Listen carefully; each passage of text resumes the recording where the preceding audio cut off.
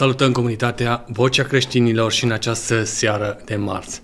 Așa cum v-am promis, în această seară de marți avem doi invitați frumoși și minunați alături de noi pe domnul Mihai, Mihai Neamțu, scriitor și autor. Mihai, îți mulțumim că ai acceptat invitația de a fi alături de noi în această seară și îți spun bine. Bună seara! Întotdeauna o mare bucurie și onoare. Mulțumesc tare mult și salut comunitatea Vocea Creștinilor. Felicitări peste 10, 100 de mii, înțeleg, de oameni au uh, decis să se aboneze. Felicitări!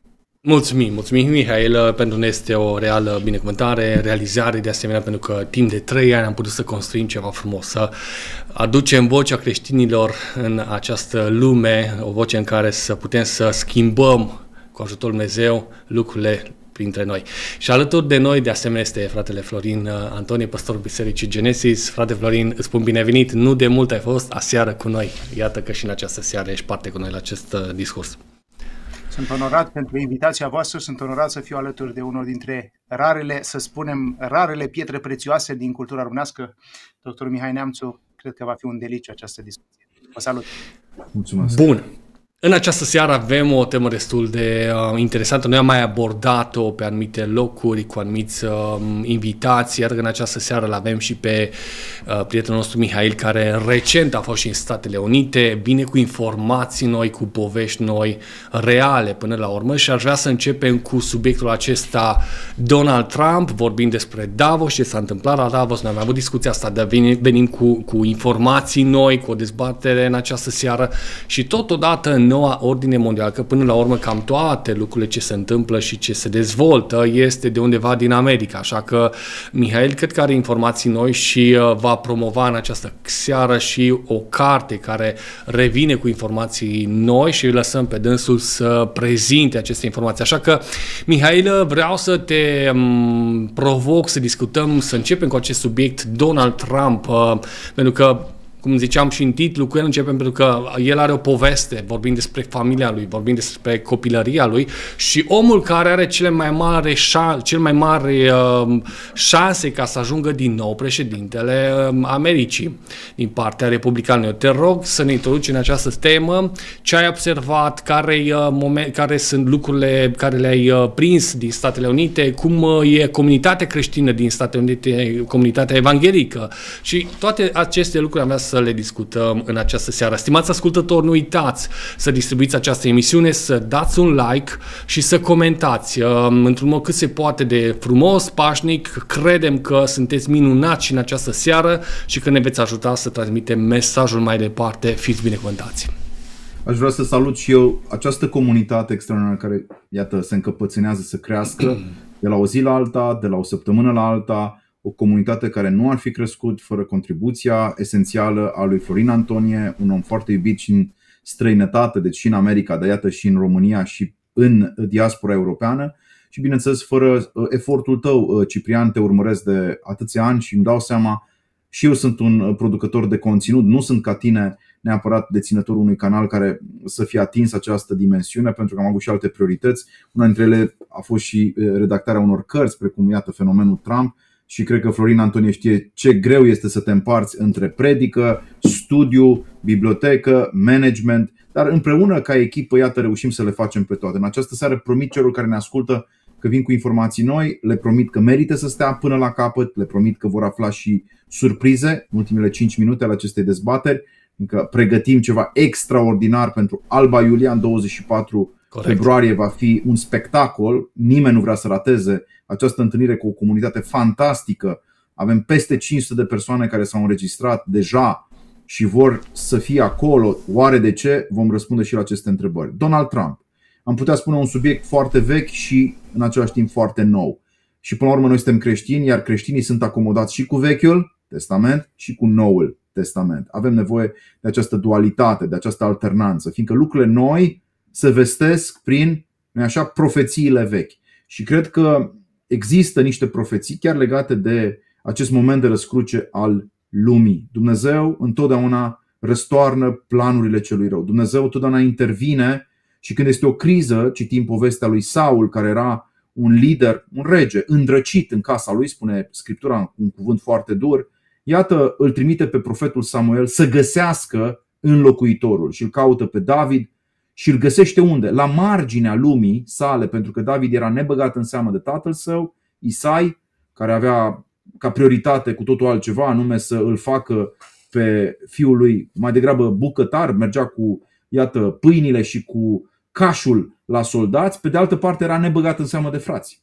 Și acest om, spuneam, nevizibil sau invizibil pentru cei mai mulți, a devenit cel mai important și iată când îl văd pe Florin Antonie cu steagul lui David în spate, mă emoționează acest gând. Deci Dumnezeu lucrează în chip minunat. El intervine în istorie. Noi nu suntem uh, în acord cu metafizica orientală, budistă sau, eu știu, uh, de ce nu, o, o, o metafizică indiană, nu suntem neapărat cu o teorie a ciclurilor, nu? noi suntem pe ideea de linearitate. Timpul are un început și are un sfârșit.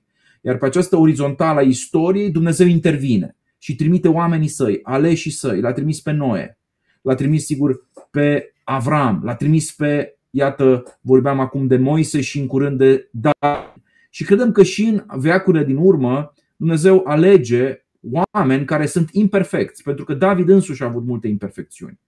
Uh, probabil că mulți dintre noi recunosc imperfecțiuni în viața lor. Eu știu că am multe pentru care să mă pocăiesc și pe, pe care lucruri și faptele le regret. Dar Dumnezeu ne restaurează prin harul său. Dumnezeu ne dă a doua și chiar uneori a treia șansă. Și Donald Trump este un asemenea personaj. Mi-ați spus o întrebare și îngăduiți-mi și iartă-mă, Florin, știu că ai să intervii cu multe uh, detalii, dar în cartea pe care am uh, muncit-o, vă spun sincer, am lucrat și 16 ore pe zi acum șapte ani ca să o scot într-un tip record, 350 de pagini, va fi lansată la Alba Iulia în ediția englezească și tocmai am primit acum o recomandare din partea unui eminent profesor din America pentru acest volum. Spuneam în această carte am căutat să caut să găsesc izvoarele, rădăcinile acestui personaj contradictoriu și am găsit două aripi foarte rapid.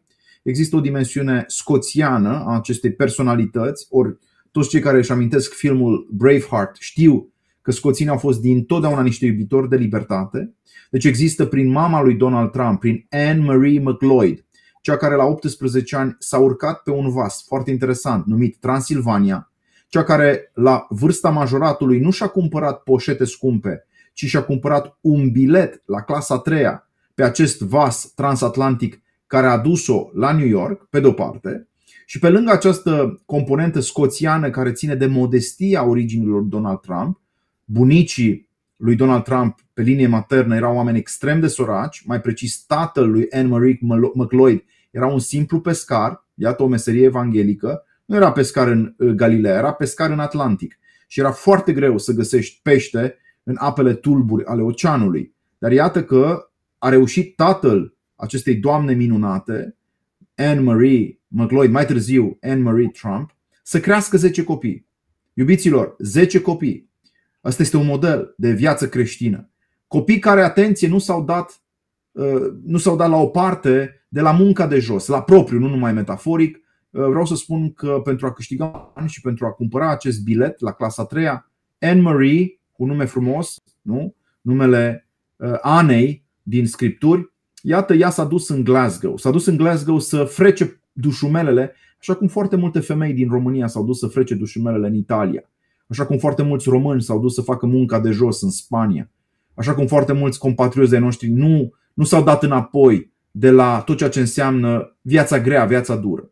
Și deci avem pe de o parte componenta iubitoare de libertate din personalitatea lui Donald Trump, The Freedom Fighter, nu? Cu o mamă care a dus sub brațul ei, da? sub brațul ei a dus o carte, dar a dus nu cartea mea, fenomenul Trump, ci a dus cartea cărților, Biblia. Și când a ajuns în uh, New York a fost întrebată de către unul dintre polițiștii de la vamă Do you intend to stay forever in the United States? Doriți să stați pentru totdeauna uh, în Statele Unite? Și a spus Yes, I do. Și apoi avem componenta masculină.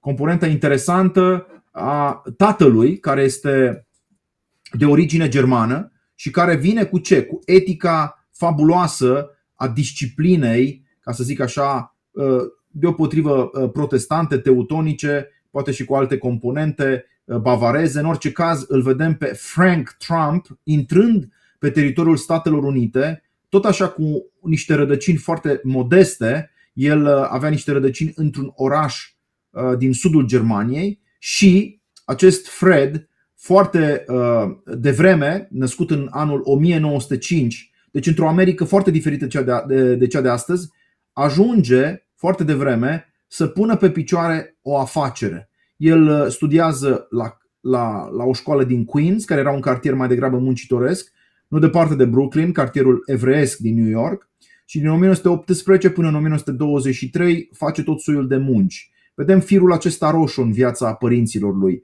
Niciunul nu s-a dat la o parte când a fost vorba de muncă, de trudă. Prin sudoarea ta îți vei câștiga pâinea. Este mesajul biblic. Și poate că noi astăzi trebuie să ne reamintim acest mesaj. Fiindcă vrem foarte repede să facem bani, ușor, fără sudoarea frunții, fără transpirație și doar cu inspirație. Nu se poate. Ei bine, Fred intră în tot soiul de business-uri și la un moment dat se hotărăște să fie ceea ce a fost și tatăl adoptiv al lui Isus Hristos, nu? să fie tâmplar. Și devine tâmplar, foarte interesant, uh, și lucrează din ce în ce mai mult cu firme de construcții și la un moment dat spune ei, ia să-mi fac și eu propria mea firmă de construcții. În jurul anului 1924, deci suntem chiar înainte de marea criză, criza economică din 1929, Donald Trump împreună cu mama lui Elizabeth, de fapt Elisabeta, uh, și ea, nume biblic, nu? Ce frumoasă, iată, suprapunere. Ana pe de o parte, Elisabeta pe de altă parte. Ei bine, împreună cu mama sa, Frank Trump dă drumul la organizația numită Trump, uh, Trump Organization, care începe să facă case în cartierul Queens din New York. Povestea continuă, nu vreau să o spun foarte, foarte amplu acum, dacă aveți curiozități vă dezvolt. Uh, cu această pasiune pentru muncă, cu această perseverență de tip teutonic, german, cu acest spirit nemțesc, când vine să spun, uh, cu dorința de a îmbunătăți viața lui și a celor din jurul său, Trump impune, Trump seniorul impune câteva elemente de etică și cu asta vă las, apoi continuați voi. Foarte interesant, primul element, nu se înjură în casă.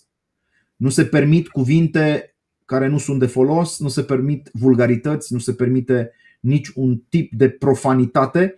Pe de altă parte, Donald Trump mai face un lucru, interzice alcoolul. Nu se consumă alcool în casa lor, ceea ce e foarte interesant, îl va marca pe Donald Jr., am spune nu, adică pe actualul președinte sau pe fostul președinte al, uh, al Americii. Deci avem o foarte frumoasă poveste în care Maria și Marta se întâlnesc, în care spiritul acesta de contemplație se întâlnește cu spiritul acesta extrem de practic și Donald Trump crește într-o asemenea atmosferă, fiind trimis de către mama lui să facă de Sunday School, da? să facă școala duminicală, să citească Biblia. Și Biblia pe care ea i-a oferit-o lui Donald Trump a fost Biblia pe care Donald Trump a jurat în 20 uh, ianuarie 2017. Am și o fotografie superbă, o să, o să o găsesc chiar dacă imaginea se transmite mai greu prin video. Uh, absolut moment, moment emoționant să vezi cum cum fiul se raportează la, la, ta, la mamă pe de o parte și la tată pe de altă parte și nu uită gestul uh, prin care mama i-a arătat călăuzirea în viață. Iată aici imaginea lui Donald Trump care pune mâna pe o Biblie. Vedeți acolo distinsa doamnă Melania, o să vorbim și despre Melania, copilul Baron, dar mâna lui Donald Trump este pe Sfânta Scriptură, e peste Cartea Cărților, cea pe care voi vă străduiți să o duceți în toată lumea și în toată România și vă felicit. Această Biblie este o Biblie din anii 1950 pe care mama lui Donald Trump a citit-o zi de zi în casa lor din New York. Așa că o poveste superbă care merita uh, rememorată.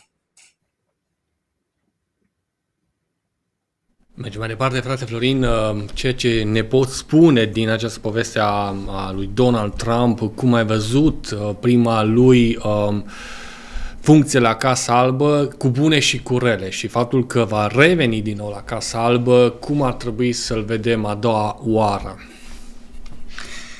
Pentru că de America de a... depinde, ce scuze, de America va depinde tot ceea ce înseamnă întreaga lume. De la, din America se va da tonul. În fapt, ca să completez, uh, Ciprian, ora, nu, ora exactă nu se mai dă aici la Greenwich în Marea Britanie, ci se dă în uh, New York și Washington. Uh, cu certitudine trebuie să fim foarte atenți la ce se întâmplă uh, peste ocean, pentru că cea mai mare probabilitate este ca domnul uh, Donald Trump să fie viitorul președinte al Americii, să revină așadar în fotoliul de președinte și nu pot să nu remarc public sisifica lucrare de cercetare pe care uh, prietenul nostru Mihai Neamțu, doctorul Mihai Neamțu, a realizat-o, pentru că nu e ușor să uh, te uiți în biografia unor oameni de un astfel de calibru și să aduci poporului român uh, o perspectivă uh, a educației, copilăriei, uh, a contextului familial pe care acest viitor președinte al Americii îl are. De ce e important? Că poate sunt oameni care ne ascultă în momentul acesta și se întreabă dar de ce ne-ar interesa pe noi chestiuni de genul acesta? E bine, pentru că Președintele american este considerat a fi cel mai puternic om din postura lui de om de pe planetă, având în vedere prerogativele pe care are, capacitățile decizionale și mai ales uh, modul în care se propagă de acolo economia lumii. Și aș vrea doar să vă citesc. Aici am uh, un text vis-a-vis de pentru că vreau să aduc o apreciere publică doctorului Mihai Neamțu pentru lucrarea pe care a făcut-o și noi ar trebui ca și români să ne învățăm să ne apreciem valorile.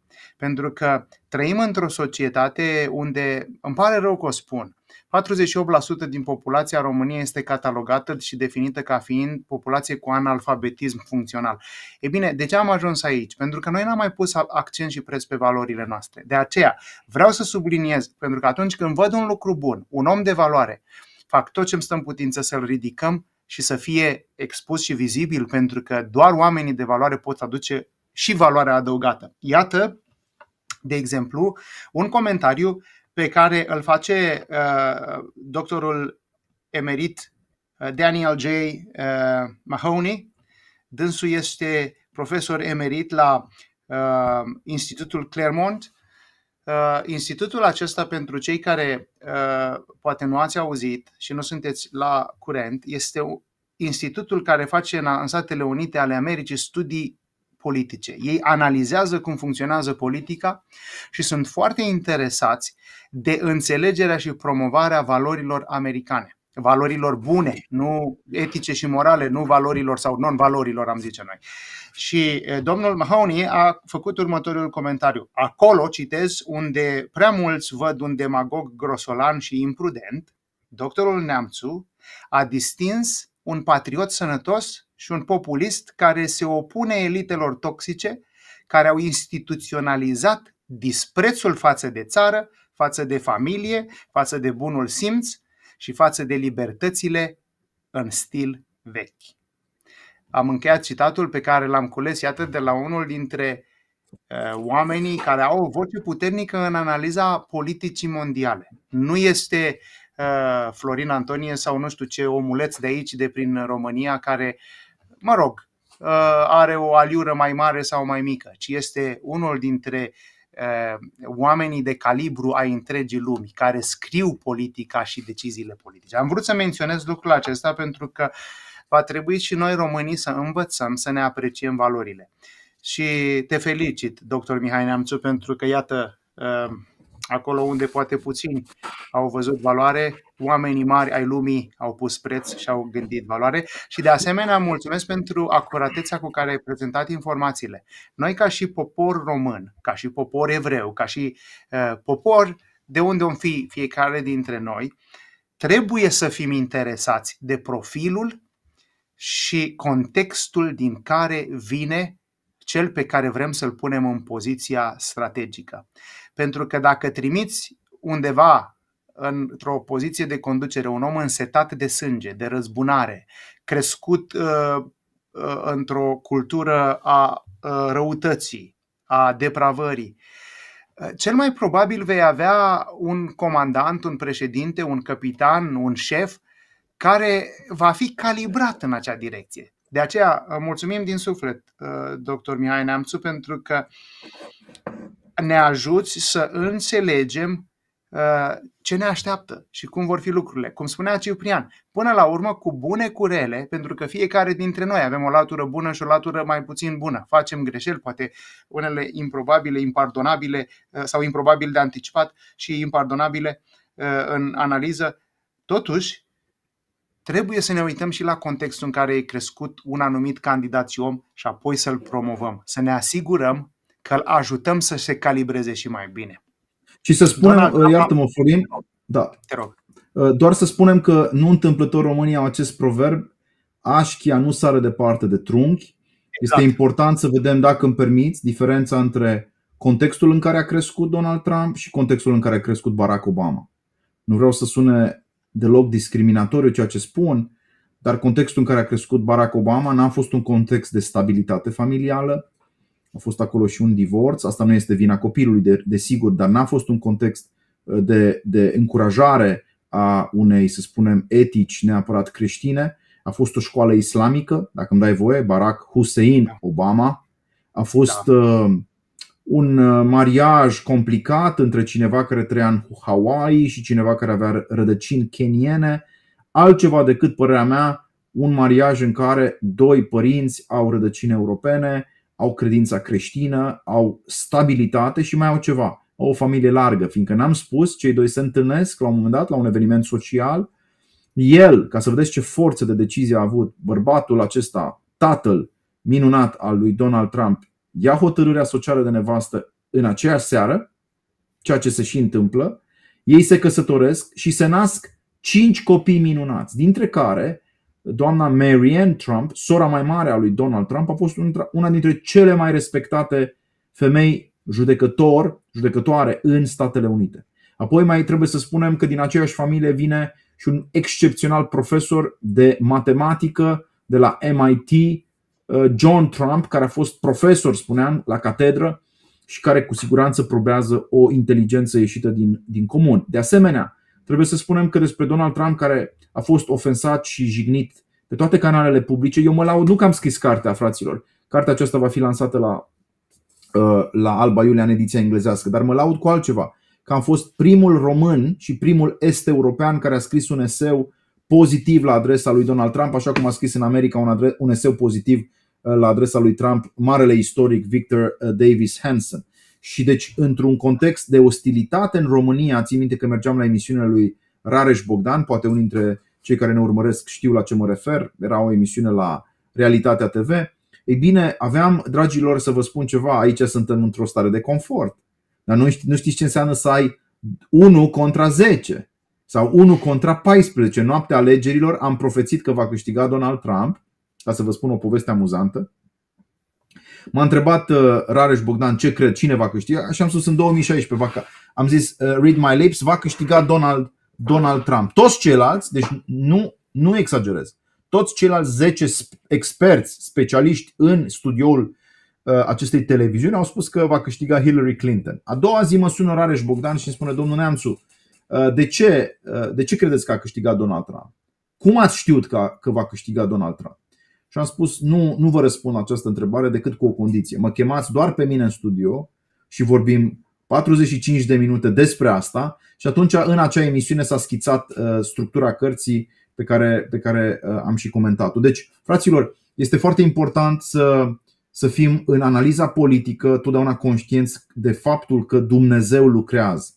Și eu nu eram neapărat uh, un om care să aibă o descoperire, o revelație, dar aveam informații care erau ele însele, ca să zic așa, pecetluite de inspirația Duhului. Pentru că oamenii îmi scriau din America încă de atunci și îmi spuneau ă, chiar asistăm la un fenomen. Deci titlu. Ă, românii din America care votează cu Donald Trump mi-au spus Mihai, am stat la coadă și trei ore ca să ajung la o întâlnire cu Donald Trump. Am parcat mașina și știți, ă, englezii nu fac, iertați-mă, nici englezii, dar mai ales americanii nu fac asta nu-și lasă mașina la 3 mile distanță. Și unii mi-au spus, Mihai, ca să pot să ajung la stadion unde venea Donald Trump cu elicopterul, am parcat mașina la 3 mile distanță și am mers pe jos. Ceea ce americanii nu prea fac și în general oamenii nu mai fac astăzi. Deci oamenii l-au văzut pe Donald Trump ca pe o, repet, apariție neașteptată dintr-un alt sistem decât sistemul politic. Și acum intrăm într-un fel în substanța argumentului cărții. Era nevoie de cineva din afară. E nevoie uneori ca să schimbe sistemul cineva care nu are năraburile pe care le au deja cei instalați în structurile de putere. David a fost un om din afară, nu dinăuntru. A fost soluția improbabilă, soluția neașteptată, soluția incredibilă într-un fel. Și la fel și Trump era ridiculizat, toți spuneau că nu o să câștige, spunea Barack Obama împreună cu soția lui Michelle. spunea evident actualul președinte Joe Biden împreună cu soția lui. Veneau, din păcate, și unii republicani, precum familia Bush, și adăugau la aceste calomnii alte calomnii. Am avut opoziția CNN, am avut opoziția altor trusturi de presă, inclusiv ziare, așa zis, de dreapta, precum Wall Street Journal sau, de ce nu, Weekly Standard. Deci am avut o critică la adresa lui Trump venită de peste tot, din zona establishmentului politic de la Washington, din zona establishmentului politic de la uh, Bruxelles. Și cu toate acestea, cu toate acestea, omul cu părul bălai, aici găsim o asemănare, omul cu părul bălai, anume Donald Trump, a câștigat. Și lucrul acesta trebuie să ne pună pe gânduri. Înseamnă că Dumnezeu nu ne lasă nici măcar în domeniul politic singuri. Unii dintre noi suntem dorniți să trăim o viață spirituală. Eu îmi trăiesc viața, rugăciunea mea, lectura, studiul biblic, uh, închinarea, mersul la biserică. Un pic de uh, filantropie, ajutor către săraci și asta este viața mea. Dar să recunoaștem Dumnezeu în Biblie, cel puțin arată că El intervine prin profeții săi, chiar și în viața politică. E foarte interesant și aici vreau ca Florin Antonie să ne ajute să înțelegem de ce. De ce oare în viața poporului Israel Dumnezeu ține cu orice preț să își pună El aleșii și îi pune prin intervenția profetică a unui, iată, Samuel sau a, mai târziu a unui Acanatan, care vine să facă și mustrarea de bună seamă. Și Dumnezeu, într-un fel, ghidează viața poporului său prin oameni politici. Oricât de mult am vrea să credem că politica trebuie eliminată da? din biserică, totuși se pare că Dumnezeu are un interes pentru ceea ce înseamnă lucrarea, lucrarea oamenilor săi în, uh, în istorie. Vă rog. Da, Mihai, tu m-ai întrebat și eu nu-ți pot răspunde decât prin ceea ce conține scriptul biblic cu privire la mentalitatea lui Dumnezeu, pentru că dacă vrem să înțelegem de ce El face ceea ce tu ai întrebat, trebuie să vedem cum gândește Dumnezeu. Citez din cartea, celebra cartea lui Isaia, capitolul 46. Țineți minte aceste lucruri și fiți oameni. Veniți-vă în fire păcătoșilor. Aduceți-vă aminte că eu sunt Dumnezeu, nu e altul ca mine, eu sunt Dumnezeu și nu e niciunul ca mine, eu mi-am vestit încă de la început hotărârile și vor rămâne așa cum le-am stabilit eu, îmi voi duce la îndeplinire toată voia mea. Eu chem de la răsărit o pasăre și dintr-o țară îndepărtată un om ca să împlinească planurile mele. Vezi, uh, Mihai, în planul lui Dumnezeu toate sunt stabilite și indiferent cât ne-am luptat noi, dacă Dumnezeu a decis să vină Donald Trump la putere, el va veni la putere. Și ca și etnic evreu, vreau să-ți spun un lucru care va rămâne în istorie, mă refer la ceea ce a făcut dânsul, nu ceea ce spun eu. Este primul președinte care a avut și din punctul acesta de vedere vreau toți credincioșii să fiți foarte atenți la ce spun acum. Este primul președinte care a avut îndrăzneala să mute din nou ambasada statului său la Ierusalim și să spună răspicat cât să audă o lume întreagă. Astăzi recunosc Ierusalimul ca fiind capitala de facto a statului Israel. Nu a fost sărbătoare și fericire doar în Israel sau în comunitățile evreiești de pe tot globul, ci a fost fericire în ceruri. Pentru că este scris în Biblie, acolo, în Sion, în Ierusalim, acolo este scaunul meu de domnie, zice Domnul, acolo mă uit, pentru că acolo este locul pe care mi l-am ales eu, Dumnezeu. E, când un om recunoaște lucrurile acestea și dă Israelului ce este al lui, omul acela va rămâne în istorie că ne place, că nu ne place, că simpatizăm, că nu simpatizăm. De aceea eu cred că noi fiind credincioși, creștini, evanghelici, din punctul acesta de vedere, ar trebui să apreciem și ar fi trebuit să luăm aminte. Am avut șansa ca român să mutăm ambasada acolo. Acum, tu vei ajunge un, un, un mare politician al României acolo și vei fi ales, Mihai. Uh, să nu uiți lucrul acesta. Uite, asta e rugămintea mea, așa, cu capul plecat și pus în genunchi în fața uh, uh, autorității pe care o vei avea. Nu uita, nu uita când vei fi uh, pus în putere de poporul Israel și de moștenirea pe care trebuie să o primească înapoi, care i-a fost furată efectiv. Și anume, Ierusalimul trebuie să-i fie dat înapoi ca și capitală. Uh, pentru că Altfel, Fără discuție. ai pomenit un lucru și dăm voie doar să menționez asta. Barack Hussein Obama, rădăcină islamică. Ce trebuie Ismailit. Să ia, ce trebuie să știe poporul român este că în islam valoarea fundamentală în jurul căruia este construit islamul. Repet, valoarea fundamentală în jurul căruia, căruia este construit islamul este moartea. Nu viața, ci moartea. De aceea ați văzut că ei să luptă, își uh, pun centuri cu explozibil, să duc și uh, în junghie. Pe ei nu interesează dacă vor fi împușcați sau dacă vor muri uh, comițând aceste atacuri, pentru că se consideră că vor muri martiri. Ați auzit probabil de legea Sharia. Legea Sharia este o lege a morții. Nu e o lege a îmbăzmălitului femeilor, așa cum cred mulți, ci este legea morții. Ea prevede ca și Constituție pentru islam ca orice non-musulman să fie omorât. Și de aici în a, a, pornesc celelalte legi secundare, suplimentare. Femeia să fie cu bazma, bărbatul să se roage de atâtea ori pe zi, să fie... Dar legea fundamentală este orice non-musulman trebuie să fie executat, trebuie să fie omorât.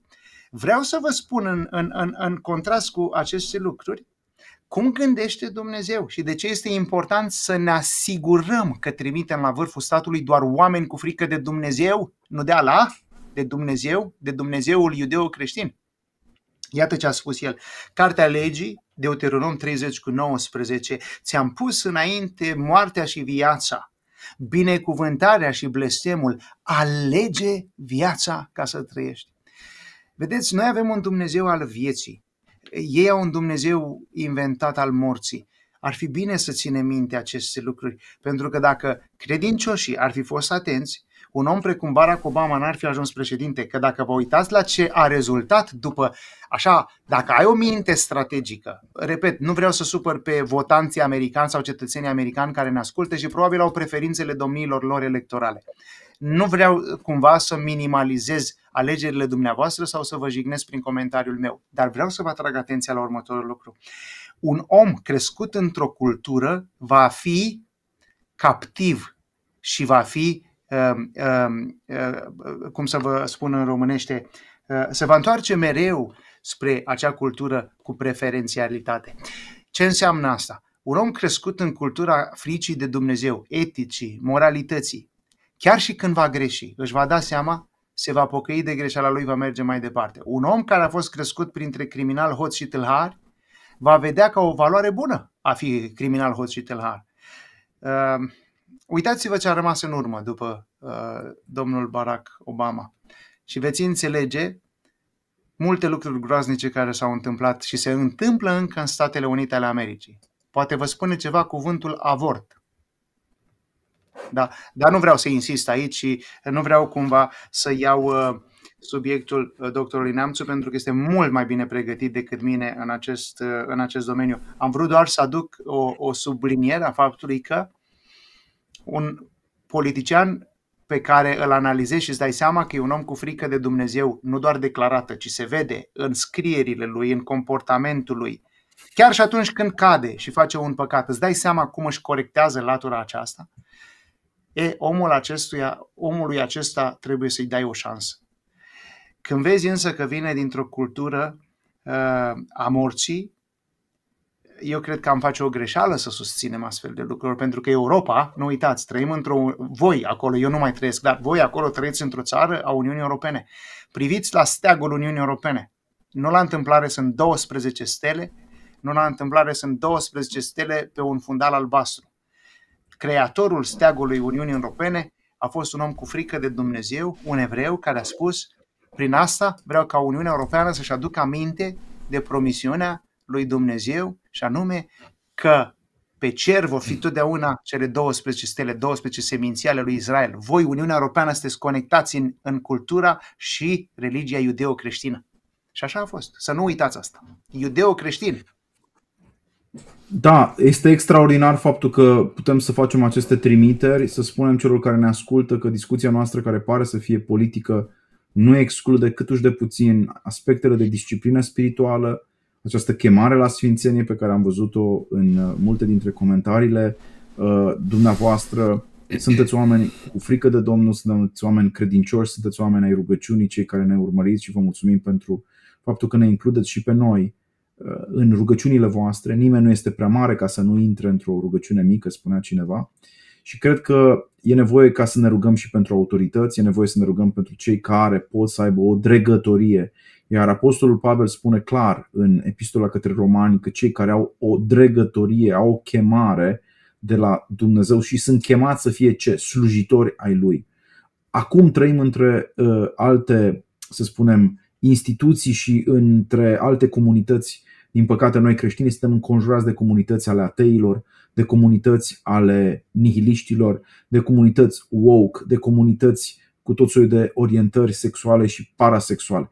Datorită acestui fapt, dregătoria și-a pierdut din demnitate și în loc să fie ceea ce era pe vremea lui Daniel, ceea ce era pe vremea lui David, ceea ce era poate pe vremea chiar a lui Moise, această dregătorie să fie îmbinată cu reverența datorată lui Dumnezeu, uh, s-a produs acest regim al separațiilor, care este regimul modern, un regim prin care eu îmi văd de treaba mea atunci când sunt uh, în Parlament, eu îmi văd de agenda mea atunci când sunt uh, la Bruxelles și uit foarte devreme, uit foarte devreme ceea ce am promis duminica, poate că am promis duminica la biserică. Și acest regim de discontinuitate, de separație, de schizofrenie, vine să spun, între ceea ce declară unii creștini, chiar și creștini majoritari în România, duminică dimineață și ceea ce se hotărăsc să facă de luni încolo, această schizofrenie trebuie să fie confruntată. Iar eu sunt unul dintre cei care, gândindu-mă la ce poate să facă un europarlamentar la Bruxelles, știu prea bine că toată lucrarea trebuie închinată lui, că prin el și pentru el trebuie să fie făcute toate. Deci noi nu suntem aici pentru a ridica în slăvi un om oarecare, plin de păcate, ca noi toți. Nu. Suntem aici pentru a pune în discuție care este teologia politică sau care este viziunea spirituală și escatologică asupra sfârșiturilor vremurilor. Pentru că, în fond și la urmă, urmei, poate să nu ne placă Donald Trump, cum poate să nu ne placă Mihai Neamțu, cum poate să nu ne placă, iartă, iartă-mă, îndrăznesc Florin Antonie, poate să nu ne placă. Dar ce avem, uh, ce avem în partea cealaltă? Și ar trebui să ne uităm atent. Și vă zic repede, o avem pe Ursula von der Leyen. Poate vă place mai mult faptul că nu a desecretizat nici până acum uh, miliardele de dolari care au fost investite în acele, în acele iată, vaccinuri. Uh, acele sume colosale nu au fost desecretizate nici astăzi. De asemenea, condițiile în care s-au cumpărat acele vaccinuri de la, de la Pfizer nu s-au, nu s-au prezentat niciodată către cei care le plătesc, adică către noi. Putem să mergem mai departe. Poate nu vă place de Donald Trump, dar vă întreb, vă place de Alex Soros? Vă place de cel care a preluat, preluat de la tatăl său o moștenire de 25 de miliarde și care declară că el va fi extrem de politic anul acesta și că va investi sute de milioane în alegerile prezidențiale, atât uh, cele din uh, probabil Statele Unite, cât și, țineți-vă bine, cât și în cele din România, pentru că Alex Soros are 38 de ani și a terminat doctoratul la Berkeley, sunt unul dintre puținii români, iertați-mă că mă laud, dar chiar am citit lucrarea lui de doctorat și am descoperit pasiunea lui, lui, lui Alex Soros pentru moartea lui Dumnezeu, pentru un regim ateu pe care l-a inaugurat Friedrich Nietzsche cu faimoasa declarație din uh, Știința Veselă, 1881 Dumnezeu a murit, noi l-am omorât. Această fascinație pentru cultura morții și pentru moartea lui Dumnezeu care caracterizează ideologia lui Alex Soros, moștenitorul tatălui său, George Soros, ar trebui să ne pună pe gânduri. Fiindcă în timp ce noi încercăm să ne uh, ducem viețile în normalitatea lor, în firescul lor, alții caută să interfereze cu viețile noastre și să impună agenda lor, inclusiv agenda woke, în școli, să schimbe definiția uh, bărbatului și a femeii, să schimbe definiția mariajului, să provoace o relativă și uh, absolută în același timp răsturnare, răsturnare de, de valori relativă pentru că Dumnezeu poate să o schimbe, dar absolut în termeni umani, pentru că să recunoaștem în California ceea ce s-a întâmplat acum, iată, 40 de ani, pare să nu se mai modifice ca date fundamentale. California pare pierdută, cel puțin în termeni omenești, pentru totdeauna în, în ghearele, să zicem, acestor, acestor uh, reprezentanți ai, uh, ai dușmanului nostru, până la urmă, fiindcă e o luptă spirituală.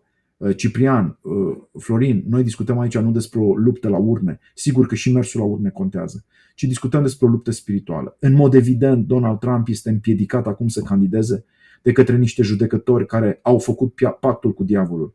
Este, este limpede, este, este ușor de observat faptul că îi se, îi se impută lui Donald Trump lucruri care sunt eminamente triviale. Cum de a făcut el nu știu ce contract comercial, cum de a luat el niște bani de la o bancă, chestiuni care țin efectiv de raportul privat între o entitate, o companie, să zicem compania lui Trump și o altă entitate, să spunem banca din New York, aceste chestiuni au fost politizate, ceea ce este inacceptabil. Se discută lucruri absurde, cum ar fi capacitatea unui președinte de a desecretiza anumite documente. El a luat acasă, le-a citit, le-a lăsat frumos în niște cutii, ei au dat buzna la el acasă, s-au dus în Mar-a-Lago, au, au, au, au pur și simplu au, inund, au inundat cu speculații uh, spațiul public pe de o parte, dar au și, îmi vine să spun, invadat spațiul privat al lui Melania Trump, au căutat printre sertare, prin hainele soției lui Donald Trump, ca să găsească ce? Niște hârtii pe care el avea puterea ca președinte să le desecretizeze. Același lucru l-a făcut și Joe Biden, fiind mai puțin decât un exact președinte. Asta mai fiind exact asta am vrut să spun. Joe Biden a făcut și a fost practic neatins. Da. neatins. Da? Deci aceste, aceste forme de hărțuire ale lui Donald Trump trebuie văzute ca partea unui război psihologic. Iar orice război psihologic are o dimensiune spirituală. Cel rău, vrăjmașul lucrează. Și uitați-vă ce s-a întâmplat astăzi. M-am uitat și dacă îmi permiteți spun că pe mihailneamțu.eu, mihailneamtu.eu am început să creez și un site de știri și vă recomand să uh, vedeți ce s-a întâmplat de pildă cu niște tineri care au protestat în America lui Joe Biden împotriva, în fața unei clinici de avort, da? împotriva practicii acestea a avortului și ce s-a întâmplat cu ei? Au fost arestați și au fost, atenție, amendați cu peste 100.000 de dolari. Sigur că judecătorii vor decide dacă este corectă sau nu amenda aceasta administrativă, dar gândiți-vă că în țara în care pe vremuri, pe vremuri, părinții fondatori puneau genunchiul, mă gândesc acum la George Washington, în zăpadă, în țara în care, să nu uităm, Ronald Reagan, președinte al Statelor Unite, făcea rugăciuni pentru eliberarea Europei de Est de comunism, în țara în care erai primit doar dacă știai rugăciunea Tatăl nostru, astăzi creștinii sunt persecutați. Iar Donald Trump trebuie să revină și nu numai singur să vină, atenție, ci să vină cu echipa, să vină cu uh, această armată de creștini pro-viață, conservatori, care susțin familia și care iubesc patria și această armată, se pare că într-un număr foarte mare de 4.000 a fost deja antrenată de către Steve Bannon. Și vă dau o, o declarație în premieră. Voi fi prezent la Washington în mai puțin de 15 uh, zile pentru a întâlni echipa lui Donald Trump. Donald Trump va, va fi și el prezent la eveniment, dar noi, eu cu Florin Antonio, să fim prezenți la evenimentul Vocea Creștinilor și uh, al Asociației Marile Cărți. Vom fi prezenți la Alba Iulia. Donald Trump, când noi vom vorbi, dragă Florin, o să fie foarte frustrat pentru că noi când vorbim trebuie să vorbească și el la Washington, deci nu o să ne asculte discursurile, dar nu e nicio problemă, mai trimitem uh, transcriptul. Așa că va fi foarte interesant ce se va întâmpla în aceste zile și promit să dau uh, celor de la Vocea Creștinilor primele informații despre ce s-a întâmplat la Washington acolo când uh, Donald Trump uh, a venit. Cel puțin eu îmi propun să mă întâlnesc cu Steve Bannon și cu alți, să spunem, uh, oameni din echipa uh, din echipa cea mai, cea mai bine selectată de către acest capitan. Uh, Donald Trump a revenit ca un capitan al unui vas care, precum vasul Transilvania, a traversat apele tulburi și care va ajunge la liman, suntem siguri de asta. Are un avantaj de 40% în uh, preferințele americanilor uh, contra candidatului său de 34%, deci este într-o cădere liberă uh, Biden, actualul președinte al Americii. Um, la propriu și la figurat, dacă vrei, nu corect. doar căderea în sondaje, mai cade și săracul, mai cade corect. și pe jos. Da. Păi, deci domină Donald Trump alegerile și interne a, a, ale Partidului Republican. Stai să, stai să ia foc bine, ceacă. Alarte i-a dat foc Orientului Mijlociu, dar încă nu s-a răspândit flacăra. Stai un pic să ardă bine în Orientul Mijlociu și va avea cu șanse zero, va intra în, în ultima cursă. A fost tare irresponsabil domnul președinte Joe Biden prin felul în care a, a i-a răsculat împotriva Israelului pe acești oameni felul în care predecesorul său din partid, Barack Obama, a finanțat Iranul de astăzi prin proxy nu va rămâne nevă... Dar mă opresc aici, nu vreau să vă dau prea multe detalii. N-au fost prieteni ai Israelului, ba din contră. I-au, au clădit dușmanii de astăzi a Israelului, i-au finanțat, i-au hrănit, i-au înarmat și se vede acum ce au făcut. Dar ne oprim aici că nu vreau să deviez discuția. Da, eu cred că este important să spunem că faimosul uh, Abraham Accord sau faimoasele Abraham Accords la plural au adus pacea în uh, Orientul uh, Mijlociu pe care uh, Joe Biden a distrus-o prin politica sa de susținere irresponsabilă a Iranului. Iranul își face de cap, inclusiv prin acțiunile Houthi uh, ale, ale acestor teroriști care atacă pur și simplu vasele britanice și americane. Uh, vom vorbi despre Ayatollahul Khamenei și despre ceilalți de la Teheran și modul în care ei tratează creștinii, care n-au nicio șansă de altfel, uh, să ducă Biblia uh, în, în, în ținutul Persiei, de unde au plecat, nu?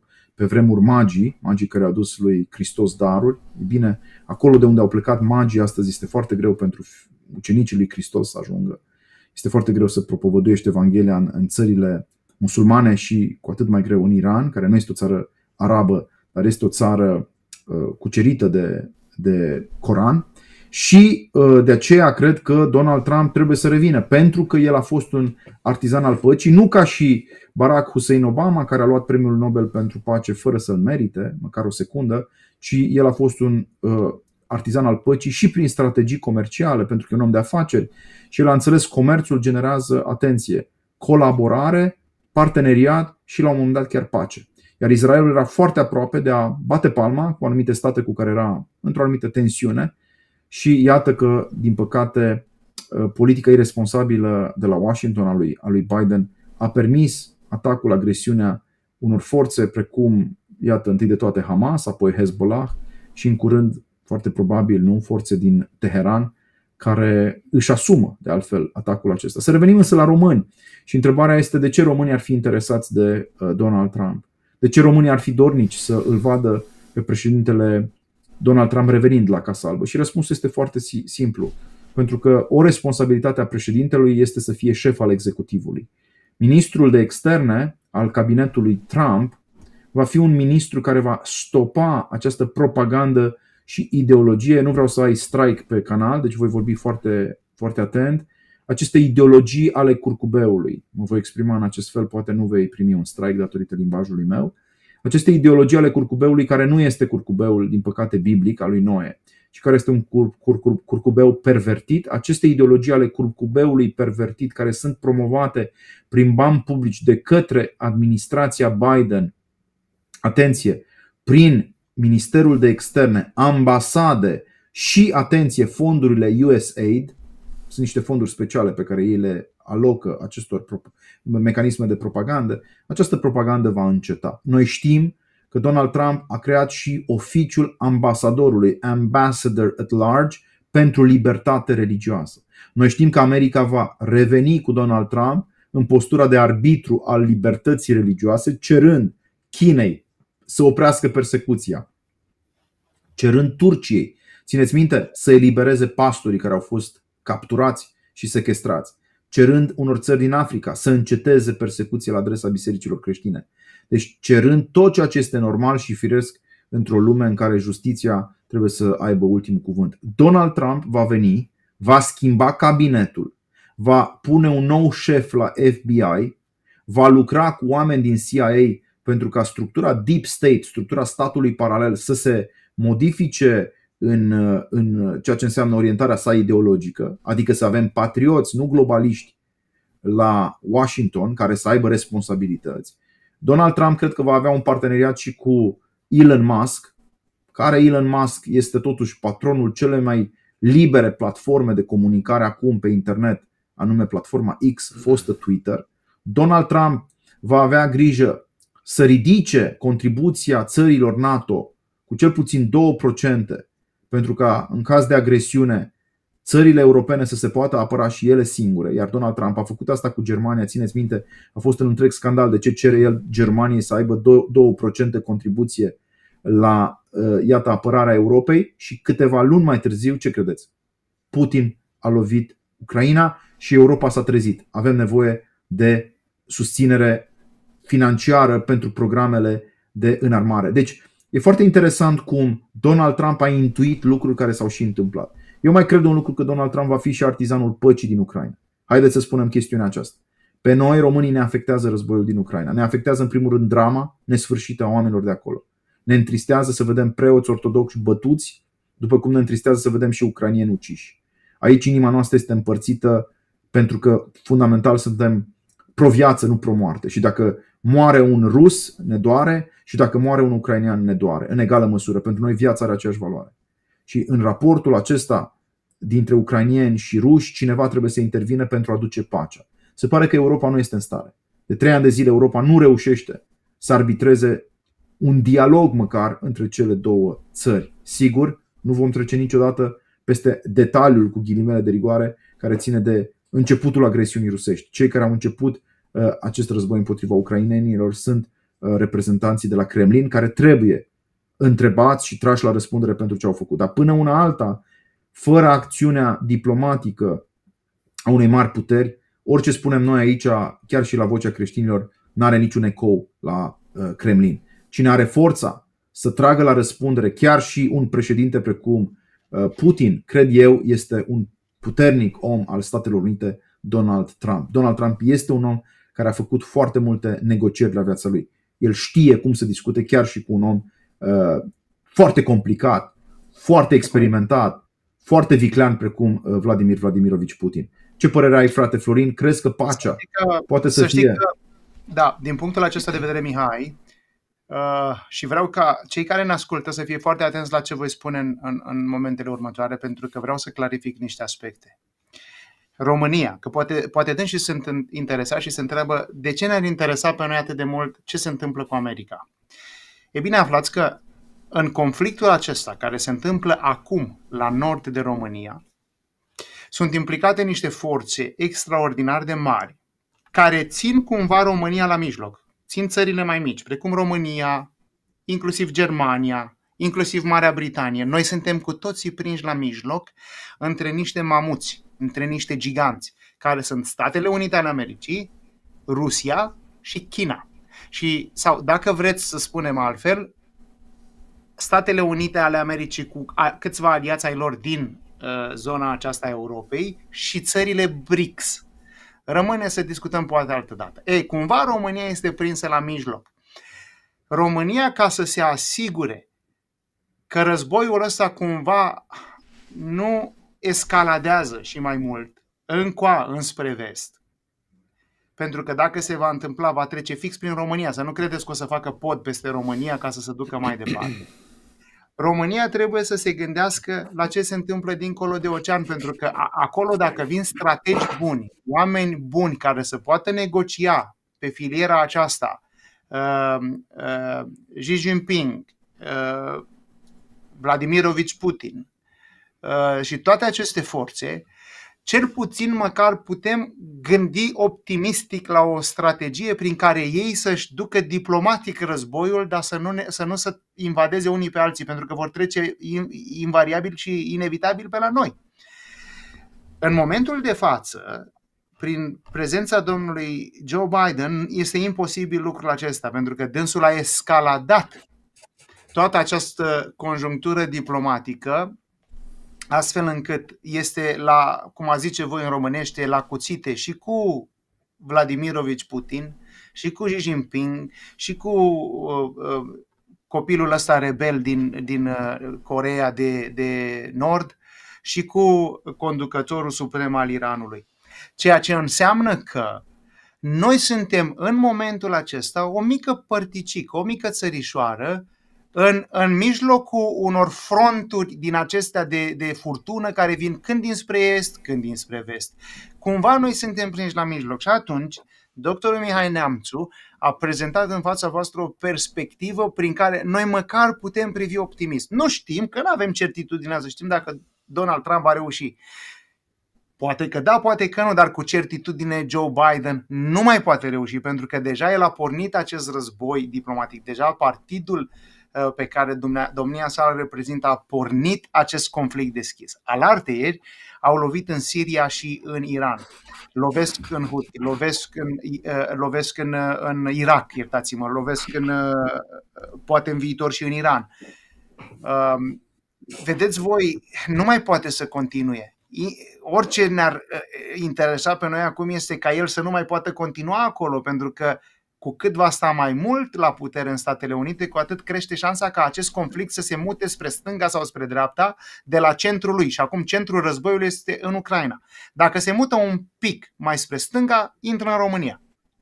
Pentru că suntem chiar la graniță. Noi suntem viitorii. De aceea vă spun, avem nevoie măcar ipotetic de niște oameni care pot cumva să-l calmeze pe Vladimirovici Putin. Măcar să-l țină locului un pic și să discute cu el. Mă, oprește-ți armata și hai să stăm un pic de vorbă. Pentru că așa, as it stands, cum zic englezii, cum e în momentul acesta, lucrurile se vor agrava, nu se vor opri, pentru că deja i-au înverșunat mult prea tare.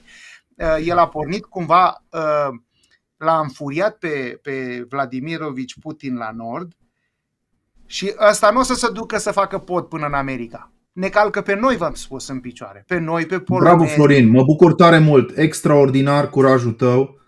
Nu, nu mă așteptam să ai acest curaj, dar uh, așa, așa te-am știut mereu. Un om curajos care poate spune și lucrurile uh, inconfortabile. Este foarte adevărat, Florin Antonie. Dacă Vladimir Vladimirovici Putin, împreună cu armata sa, care, iată, își atinge obiectivele, din păcate, o spunem pentru Ucraina, va reuși să pătrundă în Odessa, vorbim despre o localitate la mai puțin de 50 de mile distanță de probabil primul, uh, prima localitate uh, românească, atunci Ucraina va fi o țară fără acces la mare, va fi o țară zugrumată, o țară din care nu vor mai pleca cerealele, o țară sufocată, o țară distrusă, cu o infrastructură la pământ, cu sute de mii de bărbați morți pe front, cu femei foarte multe plecate în pribegie și din această perspectivă, el, văzând Ucraina slăbită, ai spus-o foarte clar, poate să se gândească, vorbind de Putin, la, de ce nu, Republica Moldova sau chiar anumite părți din Pot Delta Dunării. Mihai, doar pentru... Te rog. Vă rog, vă rog din suflet pe ascultători să notați ce vă spun acum pentru că nu să știe cât vom avea noi putere să vă spunem și nu să știe cât de mult vor tolera cei care sunt înfuriați probabil că le spunem așa prea direct. Dar ascultați-mă prieteni, în momentul acesta la granița Ucrainei sunt 500 de tancuri rusești. Ele sunt pregătite să intre cu o dita mai armata să facă valul 2 al invaziei lor. În acest moment, Rusia e interesată, exact cum a spus doctorul Neamțu, să blocheze gurile Dunării. De ce? Pentru că toată partea asta de est a Ucrainei, așa ca o, ca o semilună, dacă vă uitați, este tot ceea ce înseamnă valoarea uh, cea mai mare a Ucrainei. Ea se numește sol cernoziom. Acolo este cel mai bun sol de producție agricolă din lume. Acolo se produc 30% din cerealele lumii. El vrea să blocheze gurile Dunării, nu se va duce în nord spre Polonia. El vrea să blocheze practic tot tranzitul acesta. Noi vom fi blocați cu totul, pentru că vom fi într-o mare unde nu mai avem ieșire. Stăm și o să stăm anapoda. În se va întâmpla ce a zis uh, Traian Băsescu, iartă-mă doar completez rapid și apoi duc gândul la capăt. Domnul uh, președinte Traian Băsescu, cu toate păcatele lui, a avut dreptate când a spus că Marea Neagră va deveni la Crusesc. Marea Neagră a devenit la Crusesc practic nu mai e decât România și puțin din Turcia, zona și necontrolată Turcia, de. Nu uita că Turcia e prietena, Erdogan este prietenul lui Putin. Ei lucrează, sfidează practic NATO și pe, toți, pe noi toți. Ei sunt prieteni și își fac acolo. Dar, atât spun și închei. Marea Britanie, care este armata numărul 1 a Europei în momentul acesta, are 75.000 de soldați activi. Vreau să rețineți ce vă spun acum. 75.000 de soldați. Are 100 de tancuri. Atât. Ieri, alartieri, când au trebuit să plece la acest uh, mare exercițiu al NATO, cel mai mare de la începutul său, numit Steadfast, uh, nava amiral al exercițiului militar trebuia să se numească HMS Queen Elizabeth. Trebuia să fie portavionul care să, să uh, ducă vârful. E, aflați că s-a stricat la plecare în port, s-a stricat axul de la elicea principală, l-au tras înapoi în port, trebuie să o repare. Nu stăm bine militar. NATO nu stă chiar atât de bine militar, prieteni. De aceea vă spun, interesul nostru este ca lucrurile să se discute la nivel mare, dar ei să se calmeze unii pe alții acolo, pentru că noi nu ne permitem să fim teren de luptă. România, mai mult decât un buffer zone, buffer zone înseamnă zonă tampon în, în limbaj militar, nu poate să fie în momentul acesta. De aceea, lăsați ă, sau să ne rugăm ca la conducerea Americii să vină oameni care să fie capabili ă, să discute acest război la masă de negociere și nu pe câmpul de luptă, pentru că acel câmp de luptă nu va fi în America, nu va fi în China, ci va fi pe teritoriile în proximitatea Ucrainei de astăzi, care sunt România, Polonia și țările nordice. De aceea vă spun, este, poate să întreba lumea de ce... Este esențial, este, este esențial ce ai spus, Florin, mi se pare fundamental să ne reamintim ce a făcut aici Ronald Reagan, care da, atunci când America avea peste 45% din produ- producția globală în plan economic, deci din PIB-ul lumii, când America era încă o țară creștină, asumat creștină în anii 80, când America era, atenție, deținătoarea, dacă vrei, leadership-ului moral al lumii, pentru că așa era, atunci, în timp ce el întărea armata Statelor Unite și investea, dacă țineți minte, în războiul stelelor și a făcut-o foarte bine, în același timp a stat de vorbă cu Gorbaciov. Sigur, o să-mi spuneți că nu se poate sta de vorbă cu Putin. Poate o să avem surprize, poate Tucker Carlson ziaristul american o să vină cu un interviu tocmai de la Kremlin și o să, se arate, o, să, o să ni se arate și nouă și altora că se poate discuta cu Putin. Că ceea ce a făcut un ziarist ar putea face și un om politic. Vom vedea. Dar cert este că, din punctul meu de vedere, modelul Ronald Reagan este un model al echilibrului, al înțelepciunii.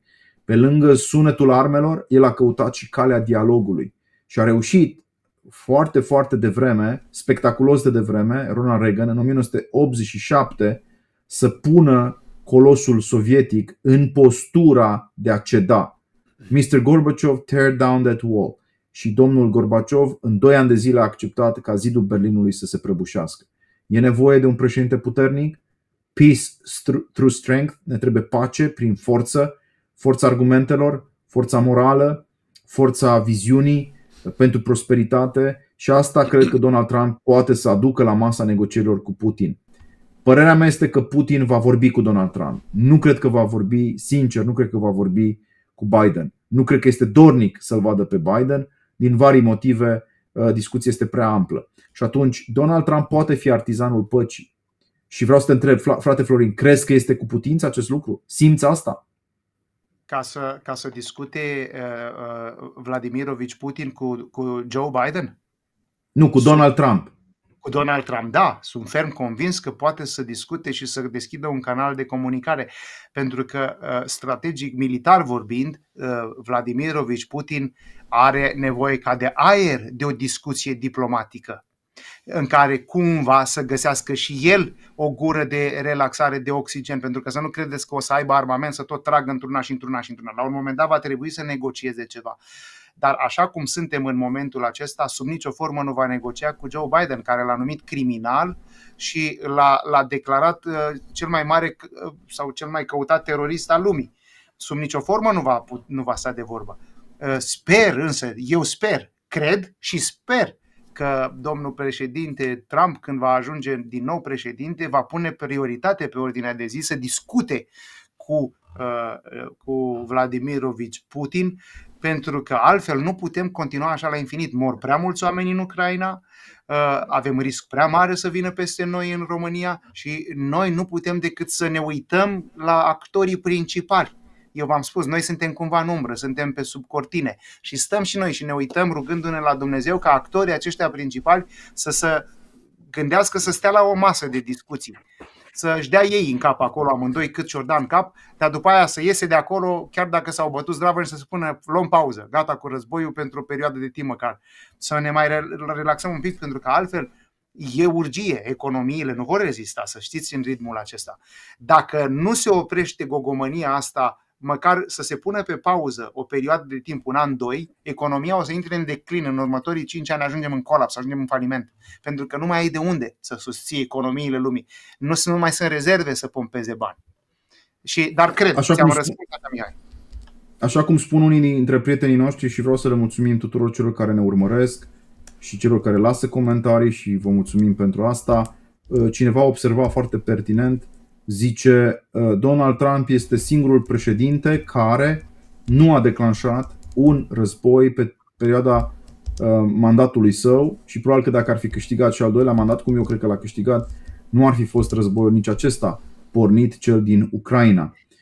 Donald Trump s-a văzut cu Putin la Helsinki, au discutat și nu știu ce au discutat, dar Putin nu a îndrăznit pe perioada în care el a fost președinte să comaseze trupe la granița cu uh, Ucraina, deși Donald Trump a ajutat Ucraina, atenție, inclusiv cu uh, arme uh, letale.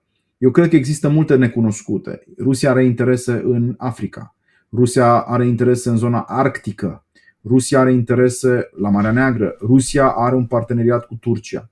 Un om care cunoaște foarte bine The Art of the Deal, ca să dăm aici citire unei cărți scrise de Donald Trump, Arta negocierii, un asemenea om care are peste 45 de ani de negociere cu foarte multe componente de psihologie în spate, el cred că poate să reușească ceea ce, iată, Joe Biden, care nu mai este lucid, nu mai este stăpân pe comportamentul său, pe cuvintele pe care le rostește, e incapabil să facă. Și din păcate să spunem că există o criză de leadership la nivel european și cu asta introducem și tema care pe noi ne doare. Europa încotro, dacă îmi permiteți fraților, dragii mei, nu știu dacă uh, se poate da un share screen de pe pagina mihailneamțu.eu ca să arătăm afișul acesta minunat pe care l-au făcut graficienii noștri, dar fraților trebuie să spunem, vă așteaptă un spectacol, nu știu, Ciprian, îmi dai voie? Am voie să spun ce discutăm? Da, deci de Alba Iulia. De la Alba Iulia. Bun. Am să și postez, nu știu dacă pot să fac screenshot de, de pe pagina ta, dar e pregătită afișul, te rog. În primul rând să spunem că Florin Antonie, cel mai iubit uh, între toți păstorii pe canalul acesta Vocea Creștinilor, foarte, foarte, foarte apreciat și admirat. De altfel și eu am o relație foarte veche de apreciere și susținere, cred că reciprocă Eh, cu Florin Antonie, spuneam că pe lângă personalitatea lui Florin Antonie, care ne încântă de atâția ani, eh, vom avea și alte nume și dacă îmi dați voie, încă o dată afișul Te este rog. elocvent, vom eh, avea onoarea să îl primim în rândurile noastre la această gală a conservatorilor, am numit-o, deci fraților, dăm drumul și aceste instituții Gala Conservatorilor, care aduce creștini din toate contextele confesionale.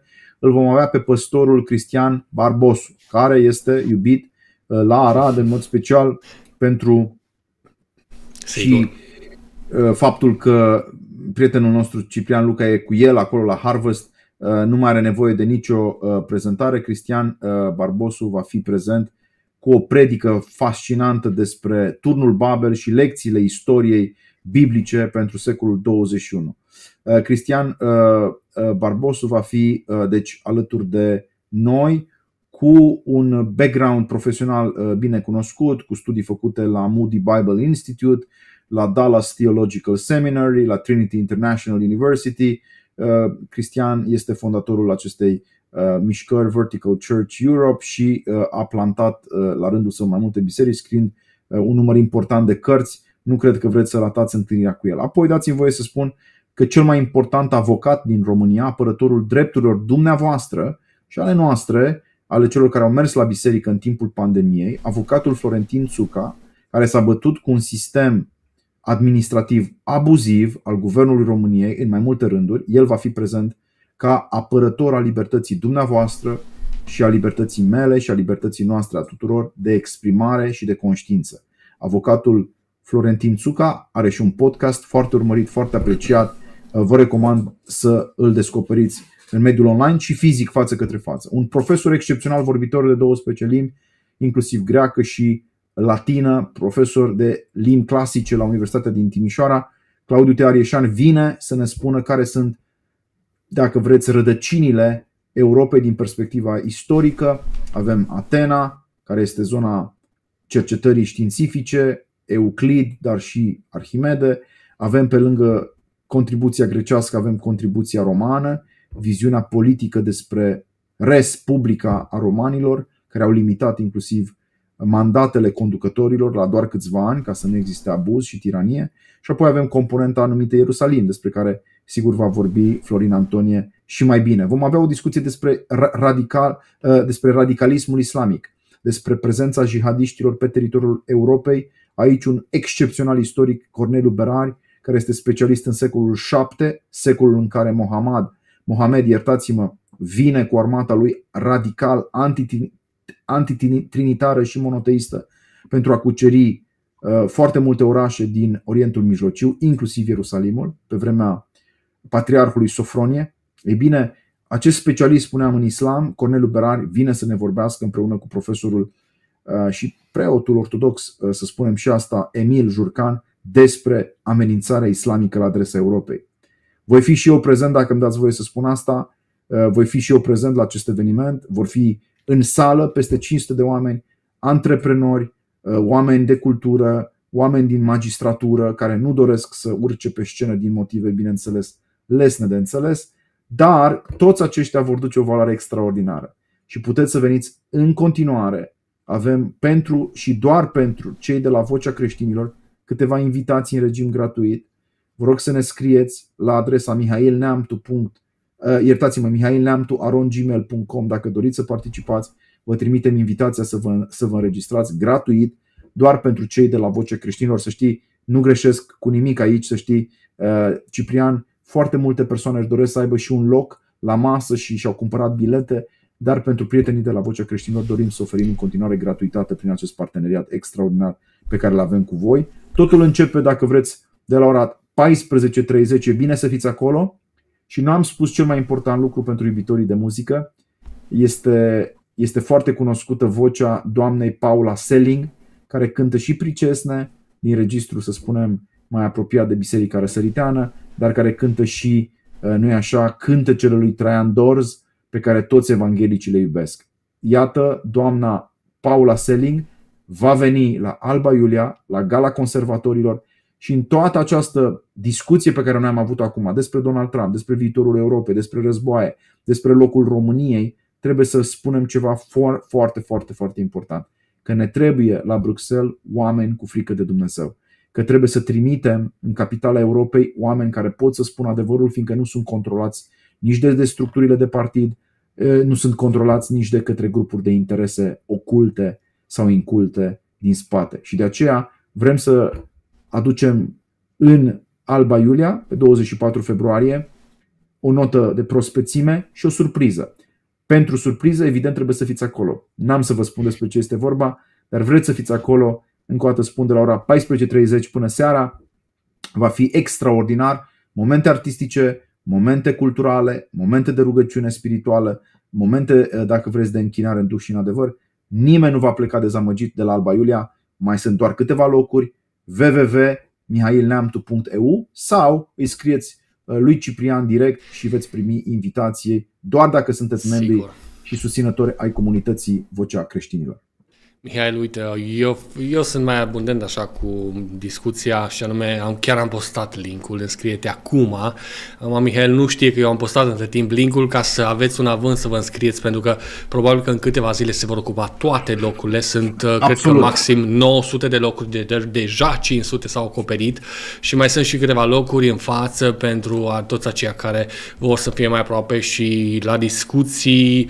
Uh, sunt câteva mese care se pun în față. Uh, Mihail împreună cu echipa dânsului sunt organizatorii, noi vom fi parte acolo, Vocea Creștină sunt parteneri media și ne bucurăm da, să, nu să avem această onoare. Dacă sunt, da, dacă sunt probleme de organizare, să nu-i faceți reproșuri lui Ciprian, nici lui Florin.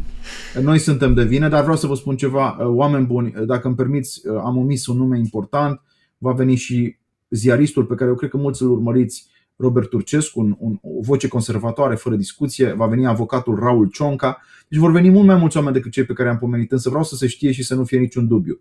Să nu creadă cineva că este ușor să organizezi un eveniment, sunt costuri implicate de închirierea sălii, aducerea unor artiști, nu e simplu să aduci artiști care sunt foarte căutați și foarte curtați și care pot să spună ție nu ca să fie în altă parte. Doamna Paula Selling, Uh, doamna Maria Coman, deci sunt contribuții pe care noi trebuie să le facem pentru reușita acestui eveniment. Oricine dorește să facă o contribuție își va, va cumpăra biletul.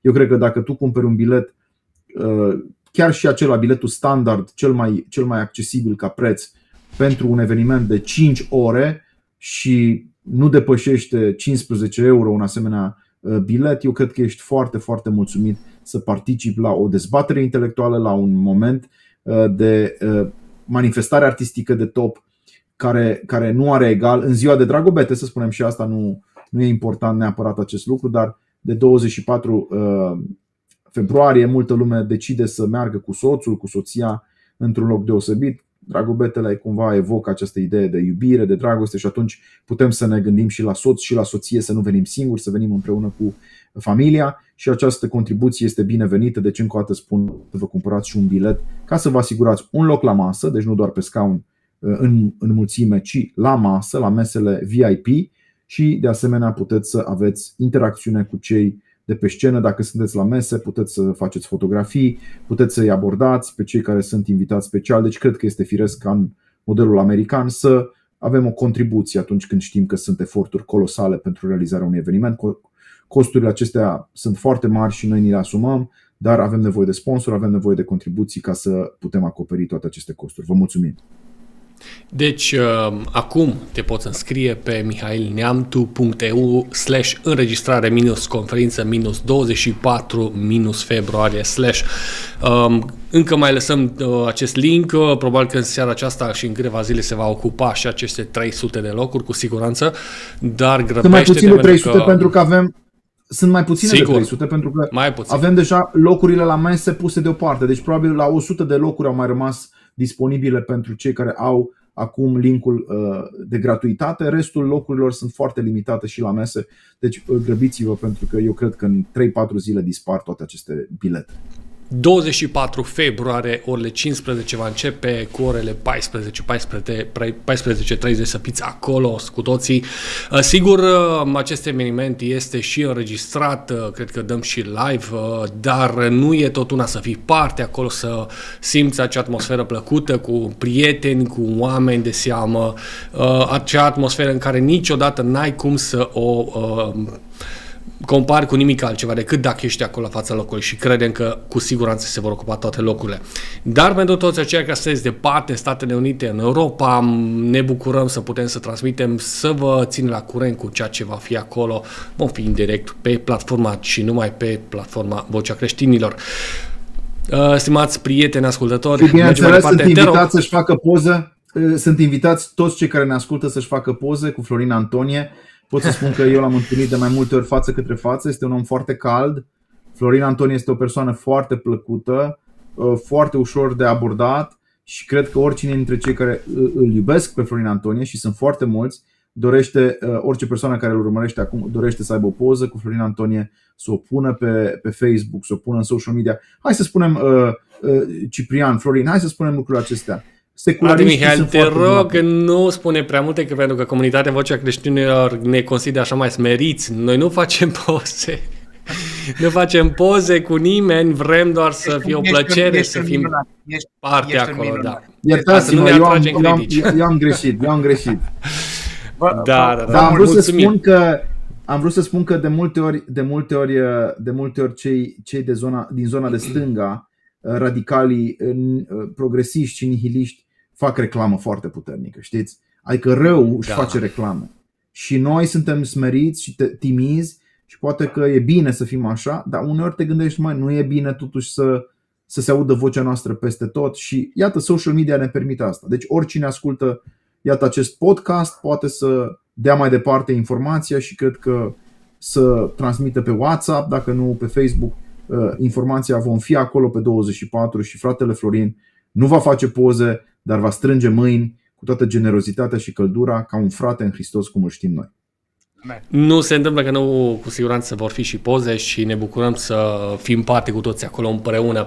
Mergem mai departe, tot aici în subiectul acesta, doar câteva întrebări mai vreau să le pun de la ascultători pentru că ei sunt practic parte cu noi și de obicei facem acest lucru uh, către fratele Florin, o întrebare. Să presupunem că Donald Trump a câștigat președinția Statelor Unite, se va retrage din contribuția majoră de la fondul NATO? O întrebare legitimă și ceea ce puțin am și discutat despre asta în această seară, NATO.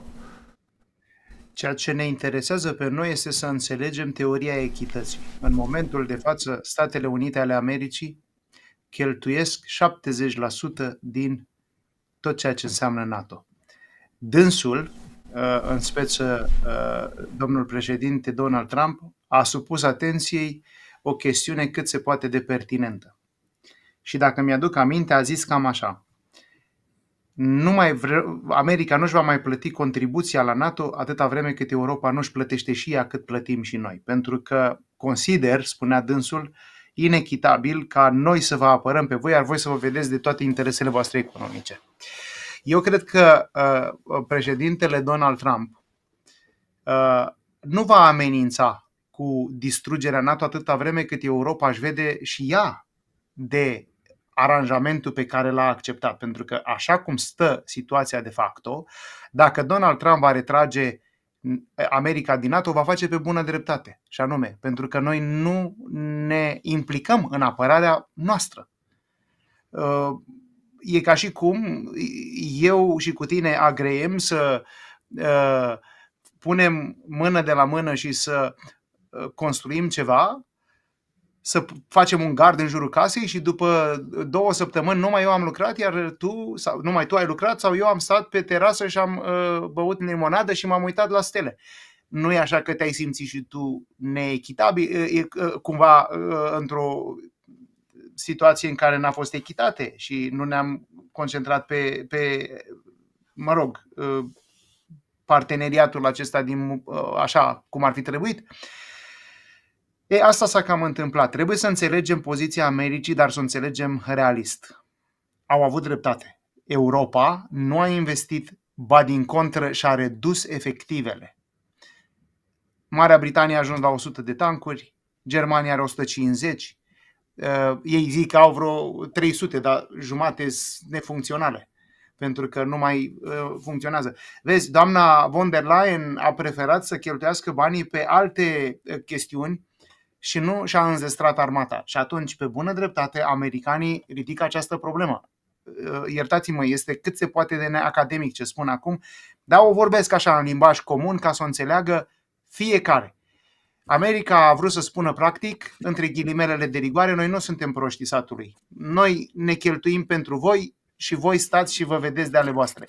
La un moment dat s-ar putea să strângă șurubul. Acesta a fost contextul în care Donald Trump a spus ce a spus și cred că e un avertisment pentru noi, și anume că Europa ar trebui să se maturizeze și să înțeleagă că dacă e un război la Est, este un război în care va trebui să participe uh, și ea activ, nu doar să-i lase pe alții să-și uh, sacrifice resursele lor. Așadar, răspunzând la ceea ce tu m-ai întrebat, am vrut să vă ofer puțin contextul ca să nu fie un răspuns steril. Dacă noi ne vom trezi, ei nu se vor retrage din NATO.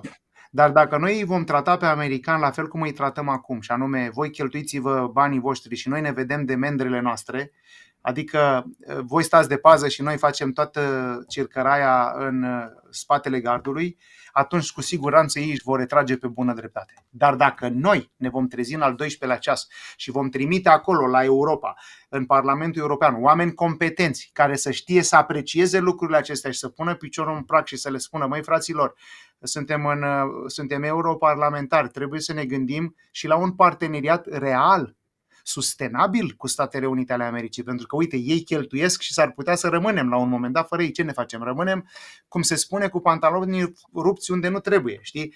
Pentru că, repet, ei sunt 70% din NATO. Dacă ei se retrag, noi nu mai avem nimic. Noi, în momentul acesta, nu adunăm atâtea tancuri câte sunt masate la granița României, uh, iertați-mă, granița Ucrainei. Da, noi Doamne nu ferește să fie la noastră. V-am spus, uite, am avut un portavion. Marea Britanie este cea mai mare forță militară a Europei și totuși are gâfâie. Uh, eu discut cu oameni de aici din Marea Britanie, unii dintre ei destul de bine puși uh, și mai așa, mai zâmbind amar îmi spun. Chiar astăzi mi-a spus un, un aviator din ăsta, un pilot militar, mă rog, de scurang destul de mare, și domne, am ajuns unde nu ne-am dorit niciodată să fim de râsul. De râsul am ieșit și din Europa și am ajuns și pe lângă gard, zice, din ce am fost noi, armata imperială, am ajuns să ni se strice, ne-am făcut de râs. Nava noastră cea mai importantă, portavionul, s-a stricat în port, nici măcar plecând de aici. Păi nu poți, nu poți să nu te gândești. De aceea eu vă spun, avem nevoie de o Europa creștină, cu frică de Dumnezeu și pentru asta ne trebuie să trimitem oameni creștini cu frică de Dumnezeu, dar și oameni care să înțeleagă lucrurile astea, pentru că dacă trimiți în Parlamentul European, Ciprian, uh, oameni care nu știu limba engleză, uite, eu l-aș trimite mâine și mâine, acum aș vota uh, uh, Mihai Neamțu. Știi de ce? Are doctorat la King's College, aici în, în Londra. Pentru voi, românii, nu vă spune mare lucru ce înseamnă King's College. E, vă spun eu, e una dintre cele mai mari universități ale lumii. Ale lumii, nu de aici din Marea Britanie. Când spui King's College în domeniul domniei sale de activitate, spui top 3. În al doilea rând, ai nevoie de oameni care să înțeleagă limba engleză. Dacă te-ai dus fără limba engleză, dar nu vorbită așa, um, cu dicționarul în față și spunând niște fraze stereotip. Uh, how are you? Uh, what time is it? Și toate astea. Nu, îți trebuie să înțelegi de desubturile și semantica pe care o are jargonul limbii engleze. Pentru că altfel nu o să înțelegi de desubturile legii. Ai nevoie să trimiți oameni care să înțeleagă strategie, să înțeleagă de fapt cum se mută piesele pe tabla asta de șah străveche numită Europa. Că dacă nu o faci, nu știi ce să discuți acolo. De aceea avem nevoie și sper ca România să se trezească, să trimitem oameni extrem de competenți pentru că nu ne mai putem permite să trimitem oameni decât să avem și noi pe cineva acolo. Trebuie să-i cântăriți atent, viață român. Și Așa asta este și mai ales... Da, cred că am răspuns. Nu, foarte frumos uh, uh, spus și nu vorbim de o persoană, vorbim aici de un principiu. Oameni care să nu poată fi șantajați, oameni care să nu poată fi cumpărați. Acum, uh, oamenii ne întreabă de ce nu am comentat mai mult subiectul Davos. Știu că aici ați avut invitați Sigur, care au vorbit despre avut. Davos și despre noua ordine mondială. Eu, uh, eu știu atât că astăzi dușmanul patriotismului este globalismul. Iar globalismul are un centru, culmea, nu în capitala unei țări, nu la Washington, nici măcar, nu la Bruxelles, nici măcar, ci la Davos, adică într-un loc unde Klaus Schwab, acest arhitect al celei de-a patra revoluții post-industriale și, bineînțeles, uh, omul din spatele multor acțiuni, inclusiv ale Organizației Mondiale a Sănătății, care ne-au lovit puternic în pandemie. Ei bine, spuneam, această capitală simbolică a globalismului aflată la Davos este localitatea din Elveția unde miliardarii lumii se strâng o dată pe an, poate și mai des, dar noi nu știm decât atunci când se strâng la vedere, pentru a discuta cum ei pot să suspende democrațiile parlamentare de tip național, cum pot să pună în paranteze democrațiile directe, care de pildă aleg primarii, consilierii locali, pentru ca toate directivele să vină de sus, top-down, aceasta este abordarea lor, fără ca noi să mai avem dreptul de a ne opune, și anume prin intermediul instituțiilor transnaționale. Cine sunt aceste instituții transnaționale? Câteva exemple. World Health Organization. Acolo, la Organizația Mondială a Sănătății, dacă se hotărăște că nouă ne trebuie vaccinul cu tare și dacă Bill Gates face lobby ca acel vaccin să fie cumpărat de la firma cu tare, bineînțeles că Bill Gates are grijă să cumpere niște acțiuni de la firma cu tare înainte ca să se ia hotărârea, toată planeta va cumpăra aceleași vaccinuri. Este incredibil practic, ideea de competiție, de capitalism dispare pentru ca să câștige oligopolul și monopolul. Apoi, ce este noua ordine mondială? Este această viziune prin care cetățenii trebuie reduși la un minim de bunăstare, de supraviețuire practic, fără să mai dețină mijloace, resurse, pentru că prosperitatea înseamnă libertate. Și dacă ei au doar de pe o zi pe alta cu ce să trăiască, dacă ei vor trăi în uh, spații uh, de colocație, se numesc acestea, în care uh, tu și cu vecinul folosiți același wc de pildă, se întâmplă deja în Europa, atunci oamenii pot să fie controlați. Ăsta este visul globaliștilor, să existe o clasă pauperă la bază pe care o poți controla prin inclusiv un sistem social de credite, adică eu știu ce a făcut Mihai Neamțu dimineața, a dat like la vocea creștinilor înseamnă că este fundamentalist, așa spun ei, da? Înseamnă că trebuie să-i scad scorul pentru că el nu mai poate să cumpere creditul de la bancă la fel ca unul care e globalist. Și atunci te trezești cu un sistem de control digital prin care tot ce spui, tot ce faci se cunoaște. De altfel, eu cred că se cunoaște de către unii astăzi.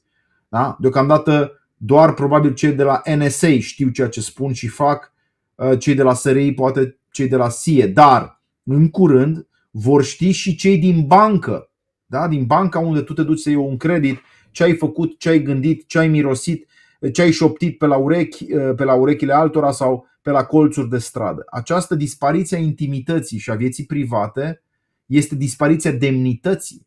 Este dispariția, până la urmă, condiții esențiale fără de care nu putem vorbi uh, până la urmă de umanitate. Doar animalele da, poartă totul la vedere. Omul pune o haină pe el, omul își construiește o casă, omul are o, ceea ce spune Mântuitorul, o cămară unde el se retrage și în această sfera intimității Dumnezeu se descoperă pe el.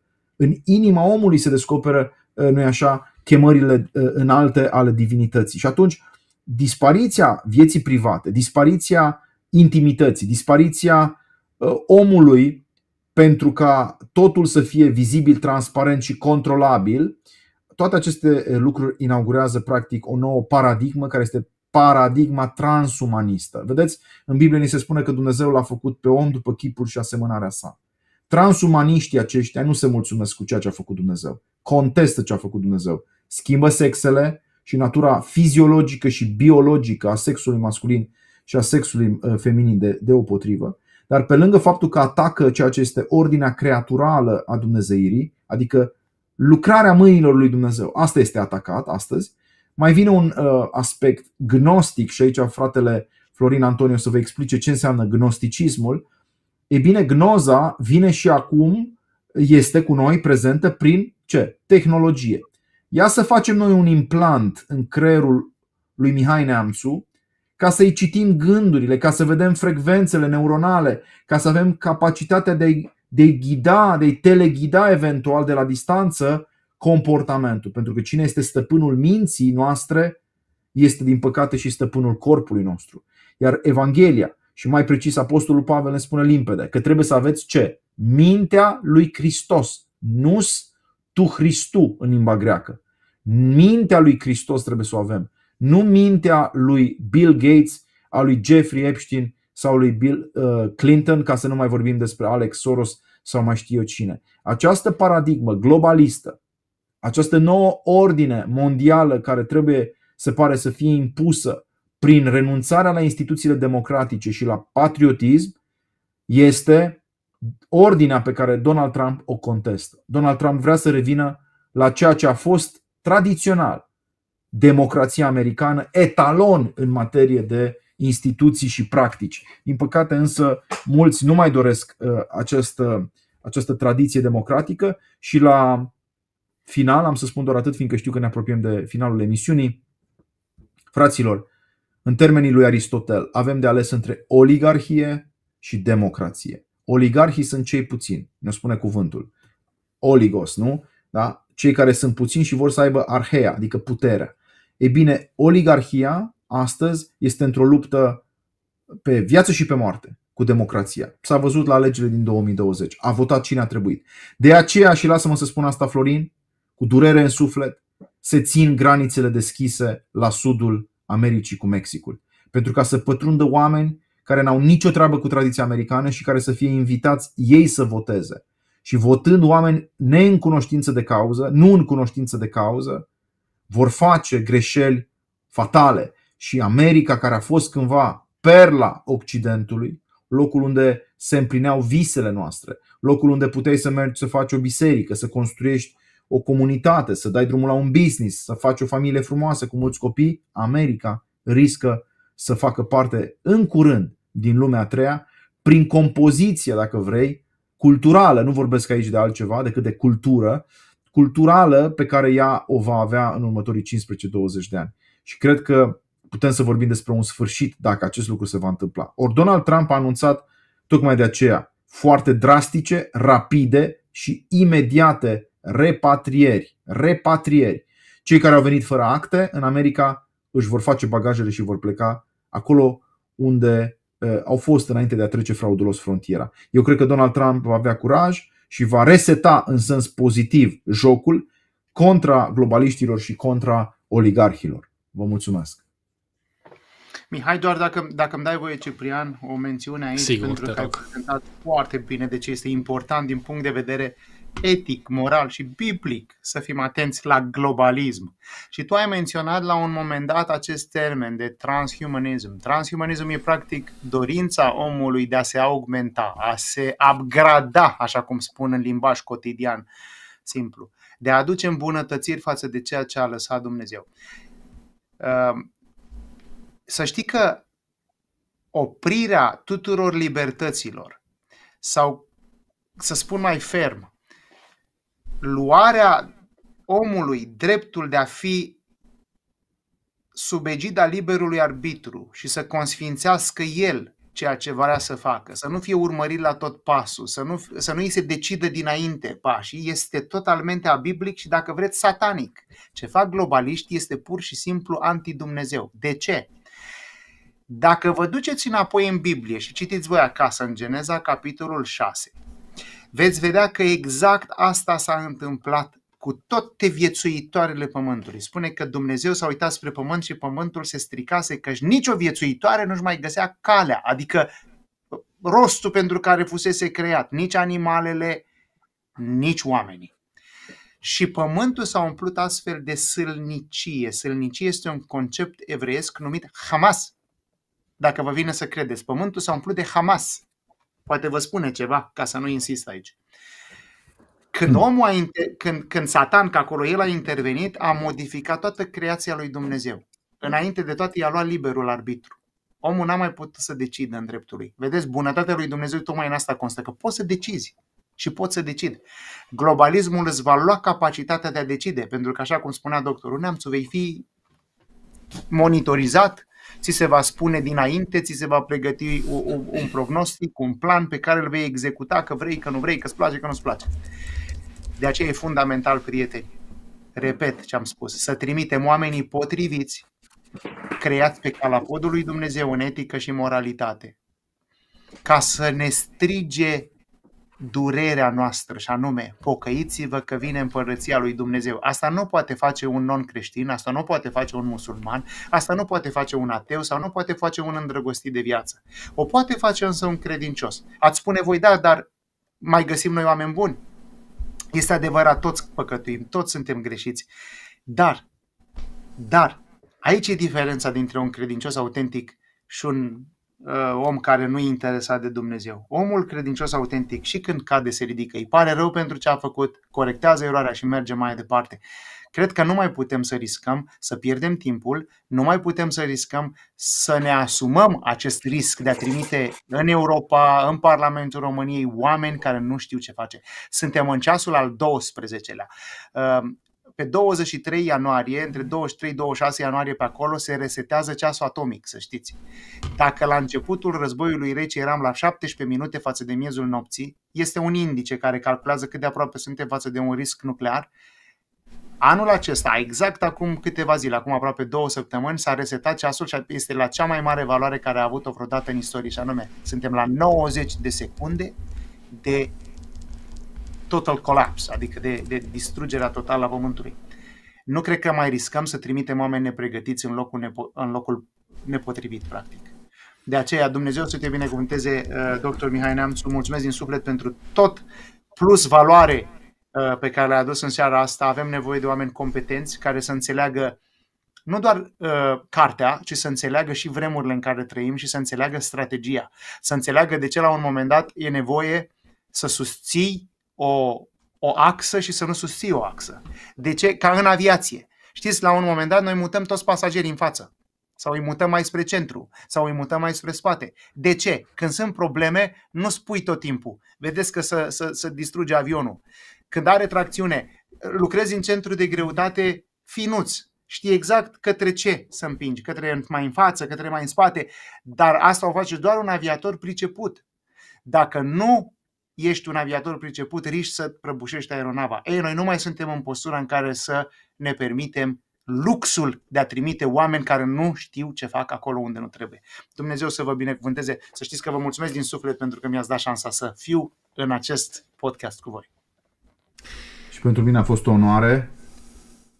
Și dacă îmi dai voie să am și eu un ultimul cuvânt, Vreau să le mulțumesc celor care ne ascultă, să le spun că cei care cândva s-au adresat creștinilor făcându-i pe aceștia fundamentaliști, făcându-i pe aceștia medievali, făcându-i pe aceștia bizoni, făcându-i pe aceștia deplorabili, au în mine, așa cum au și în Florin Antonie, așa cum au și în Ciprian Luca, așa cum au și în alți invitații noștri la Gala Conservatorilor din Alba Iulia, au un adversar sau niște adversari. Noi nu vom tolera ca cei mai mici, dar care în ochii lui Dumnezeu sunt foarte mari, adică care nu au neapărat uh, renume sau expunere publică, să fie tratați cu dispreț.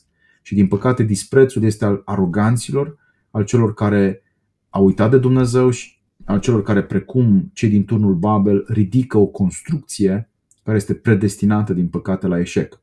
Orice construcție arogantă care sfidează cerul, pentru că nu are parte de smerenie, va fi, mai devreme sau mai târziu, prăbușită. Și Dumnezeu are pedeapsa lui pentru cei care sunt mândri și lipsiți de această smerenie pe care voi o aveți. Așa că, fraților, cu regretul că uneori nu facem tot ceea ce trebuie, dar cu bucuria că suntem împreună cu voi partea unei mișcări, atenție, o mișcare de acest tip, cum este mișcarea conservatoare, nu se, nu se limitează la România.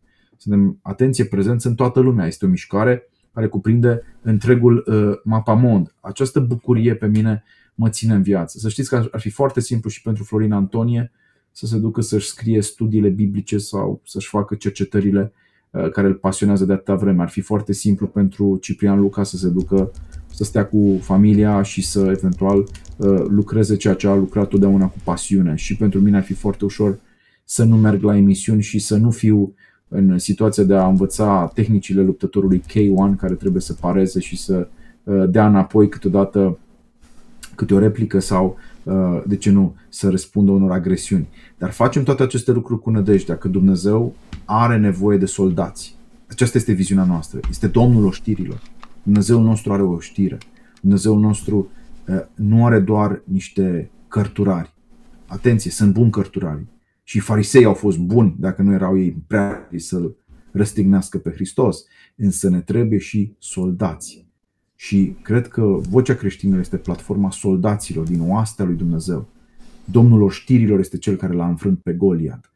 Și noi trebuie să știm că avem un Dumnezeu care ne cheamă la luptă, chiar și la, uh, chiar și la Bruxelles. De aceea, Amin. fraților, susțineți-l pe Ciprian, susțineți-l pe fratele Florin Antonie. Uh, ce se întâmplă aici la Vocea Creștinilor este foarte important. Ne-ar trebui încă 20, încă 30, încă 50 de asemenea platforme ca să devenim relevanți pentru toată România și pentru toată diaspora. Dar suntem deja 100 de mii. Ia gândiți-vă, dacă punem 10, ar fi un milion. Dacă punem 20, ar fi 2 milioane. Dacă 2 milioane de creștini în România ar avea președintele lor, ar avea liderul de partid, ar avea primul ministru, ar avea șansa să pună șeful Camerei Reprezentanților, Camerei Deputaților sau Senatului. Ar fi altfel, am fi respectați. Dar suntem 100 de mii, iată aici pe platforma aceasta și vă mulțumim. Dați acest mesaj mai departe. Îmbărbătați, e timpul optimismului. Nu trebuie să fim niște actori depresivi. David vine printre soldații pe care îi vede temători, le duce caș, le duce pâine, bucățile de pâine, dar îi și îmbărbătează. Și le spune, victoria este a lui Dumnezeu, biruința este a Domnului. Deci în acest spirit trebuie să fim și noi prezenți în comunitățile noastre. Haideți să fim optimiști. Biruința este a Domnului. Și când pare imposibil să-l bați pe Goliat globalistul sau filisteanul, să știi că Dumnezeu cu o praștie și cu o pietricică poate să facă diferența. Și despre asta va vorbi, cred eu, așa îmi spune mie cineva, Duhul, despre asta va vorbi fratele Florin. Eu vă mulțumesc pentru o seară excepțională. Nu uitați, lansăm și cartea despre domnul Trump la Alba Iulia. Fenomenul Trump în limba engleză va apărea în câteva zile, dar Dumnezeu să vă binecuvinteze pe voi toți cei care ne-ați urmărit, uh, să binecuvinteze casele voastre, familiile voastre, sufletele voastre și să ne vedem cu bine atunci când va rândui Domnul, de preferat chiar pe 24 februarie la Alba Iulia în capitala Unirii. Eu, ca să fiu sincer cu voi, o să fac probabil 5.000 de kilometri, voi fi în avion plecând din Washington spre Budapesta, deci plec din capitala Americii pentru a fi prezent în capitala simbolică a României, capitala de suflet a României, la Alba Iulia, acolo unde deja Vocea Creștinilor are un studio. Și dacă eu fac un efort să vin uh, probabil 5.000 de kilometri, iar Florin Antonie vreo 3.000 de kilometri, haideți fraților să faceți și voi un efort, că veniți din România, că veniți din Germania, că veniți din Austria. Un weekend la Alba Iulia e de neuitat, Este o cetate unde mulți români au suferit, Horia, Cloșca și Crișani, doar o parte dintre ei. Este o cetate unde avem o catedrală a reîntregirii făcută de regele Ferdinand, precum regele David a ridicat și el un templu, o catedrală a reîntregirii. Avem o biserică foarte veche de secol IX, care are rădăcini uh, bizantine, deci avem istorie, avem cultură, avem frați, avem surori de credință. Alba Iulia este locul unde ne dăm întâlnire cu micul mare pe 24 februarie. Până atunci probabil ne mai auzim. Man. Eu nu Ciprian, nu te mai auzim? Da, bun. Îți mulțumim, Mihail, pentru susținere, pentru cuvintele tale frumoase. Mai fost parte cu noi de-a lungul timpului. Încă de la începutul acestei platforme nu trebuie să uităm asta niciodată și credem că drumurile noastre se vor intersecta pentru că avem un scop comun, să-L preamărim, să-L dăm pe Dumnezeu și să ducem aceste valori ale Împărăției Dumnezeu mai departe. Sunt entuziasmat și să spun sincer, uite acum și în fața lumii, de această idee, gala conservatorilor în fiecare an. Noi vrem să ne propunem să fim parteneri criterii, așa, de la 1 la 1 pentru viitorul apropiat și îndepărtat și chiar din funcția care îți prinde foarte bine la uh, Bruxelles de europarlamentar. An de an, așa cum este formul de rugăciune, uh, din Parlamentul European, din Parlamentul Național, tot așa să fie și gala conservatorilor din România. Um, vă lăsăm Așa este cu... și începutul e aici. Începutul, Începutul este aici, aici în da. 24 februarie, sub exact. cupola Vocea Creștinilor și sub cupola Marile Cărți, care include Cartea Cărților. Nu mi-a plăcut ce a spus fratele Florin. Nu e destul să citești carte, trebuie să fii și în cărți, nu? Atunci când citești da. cartea.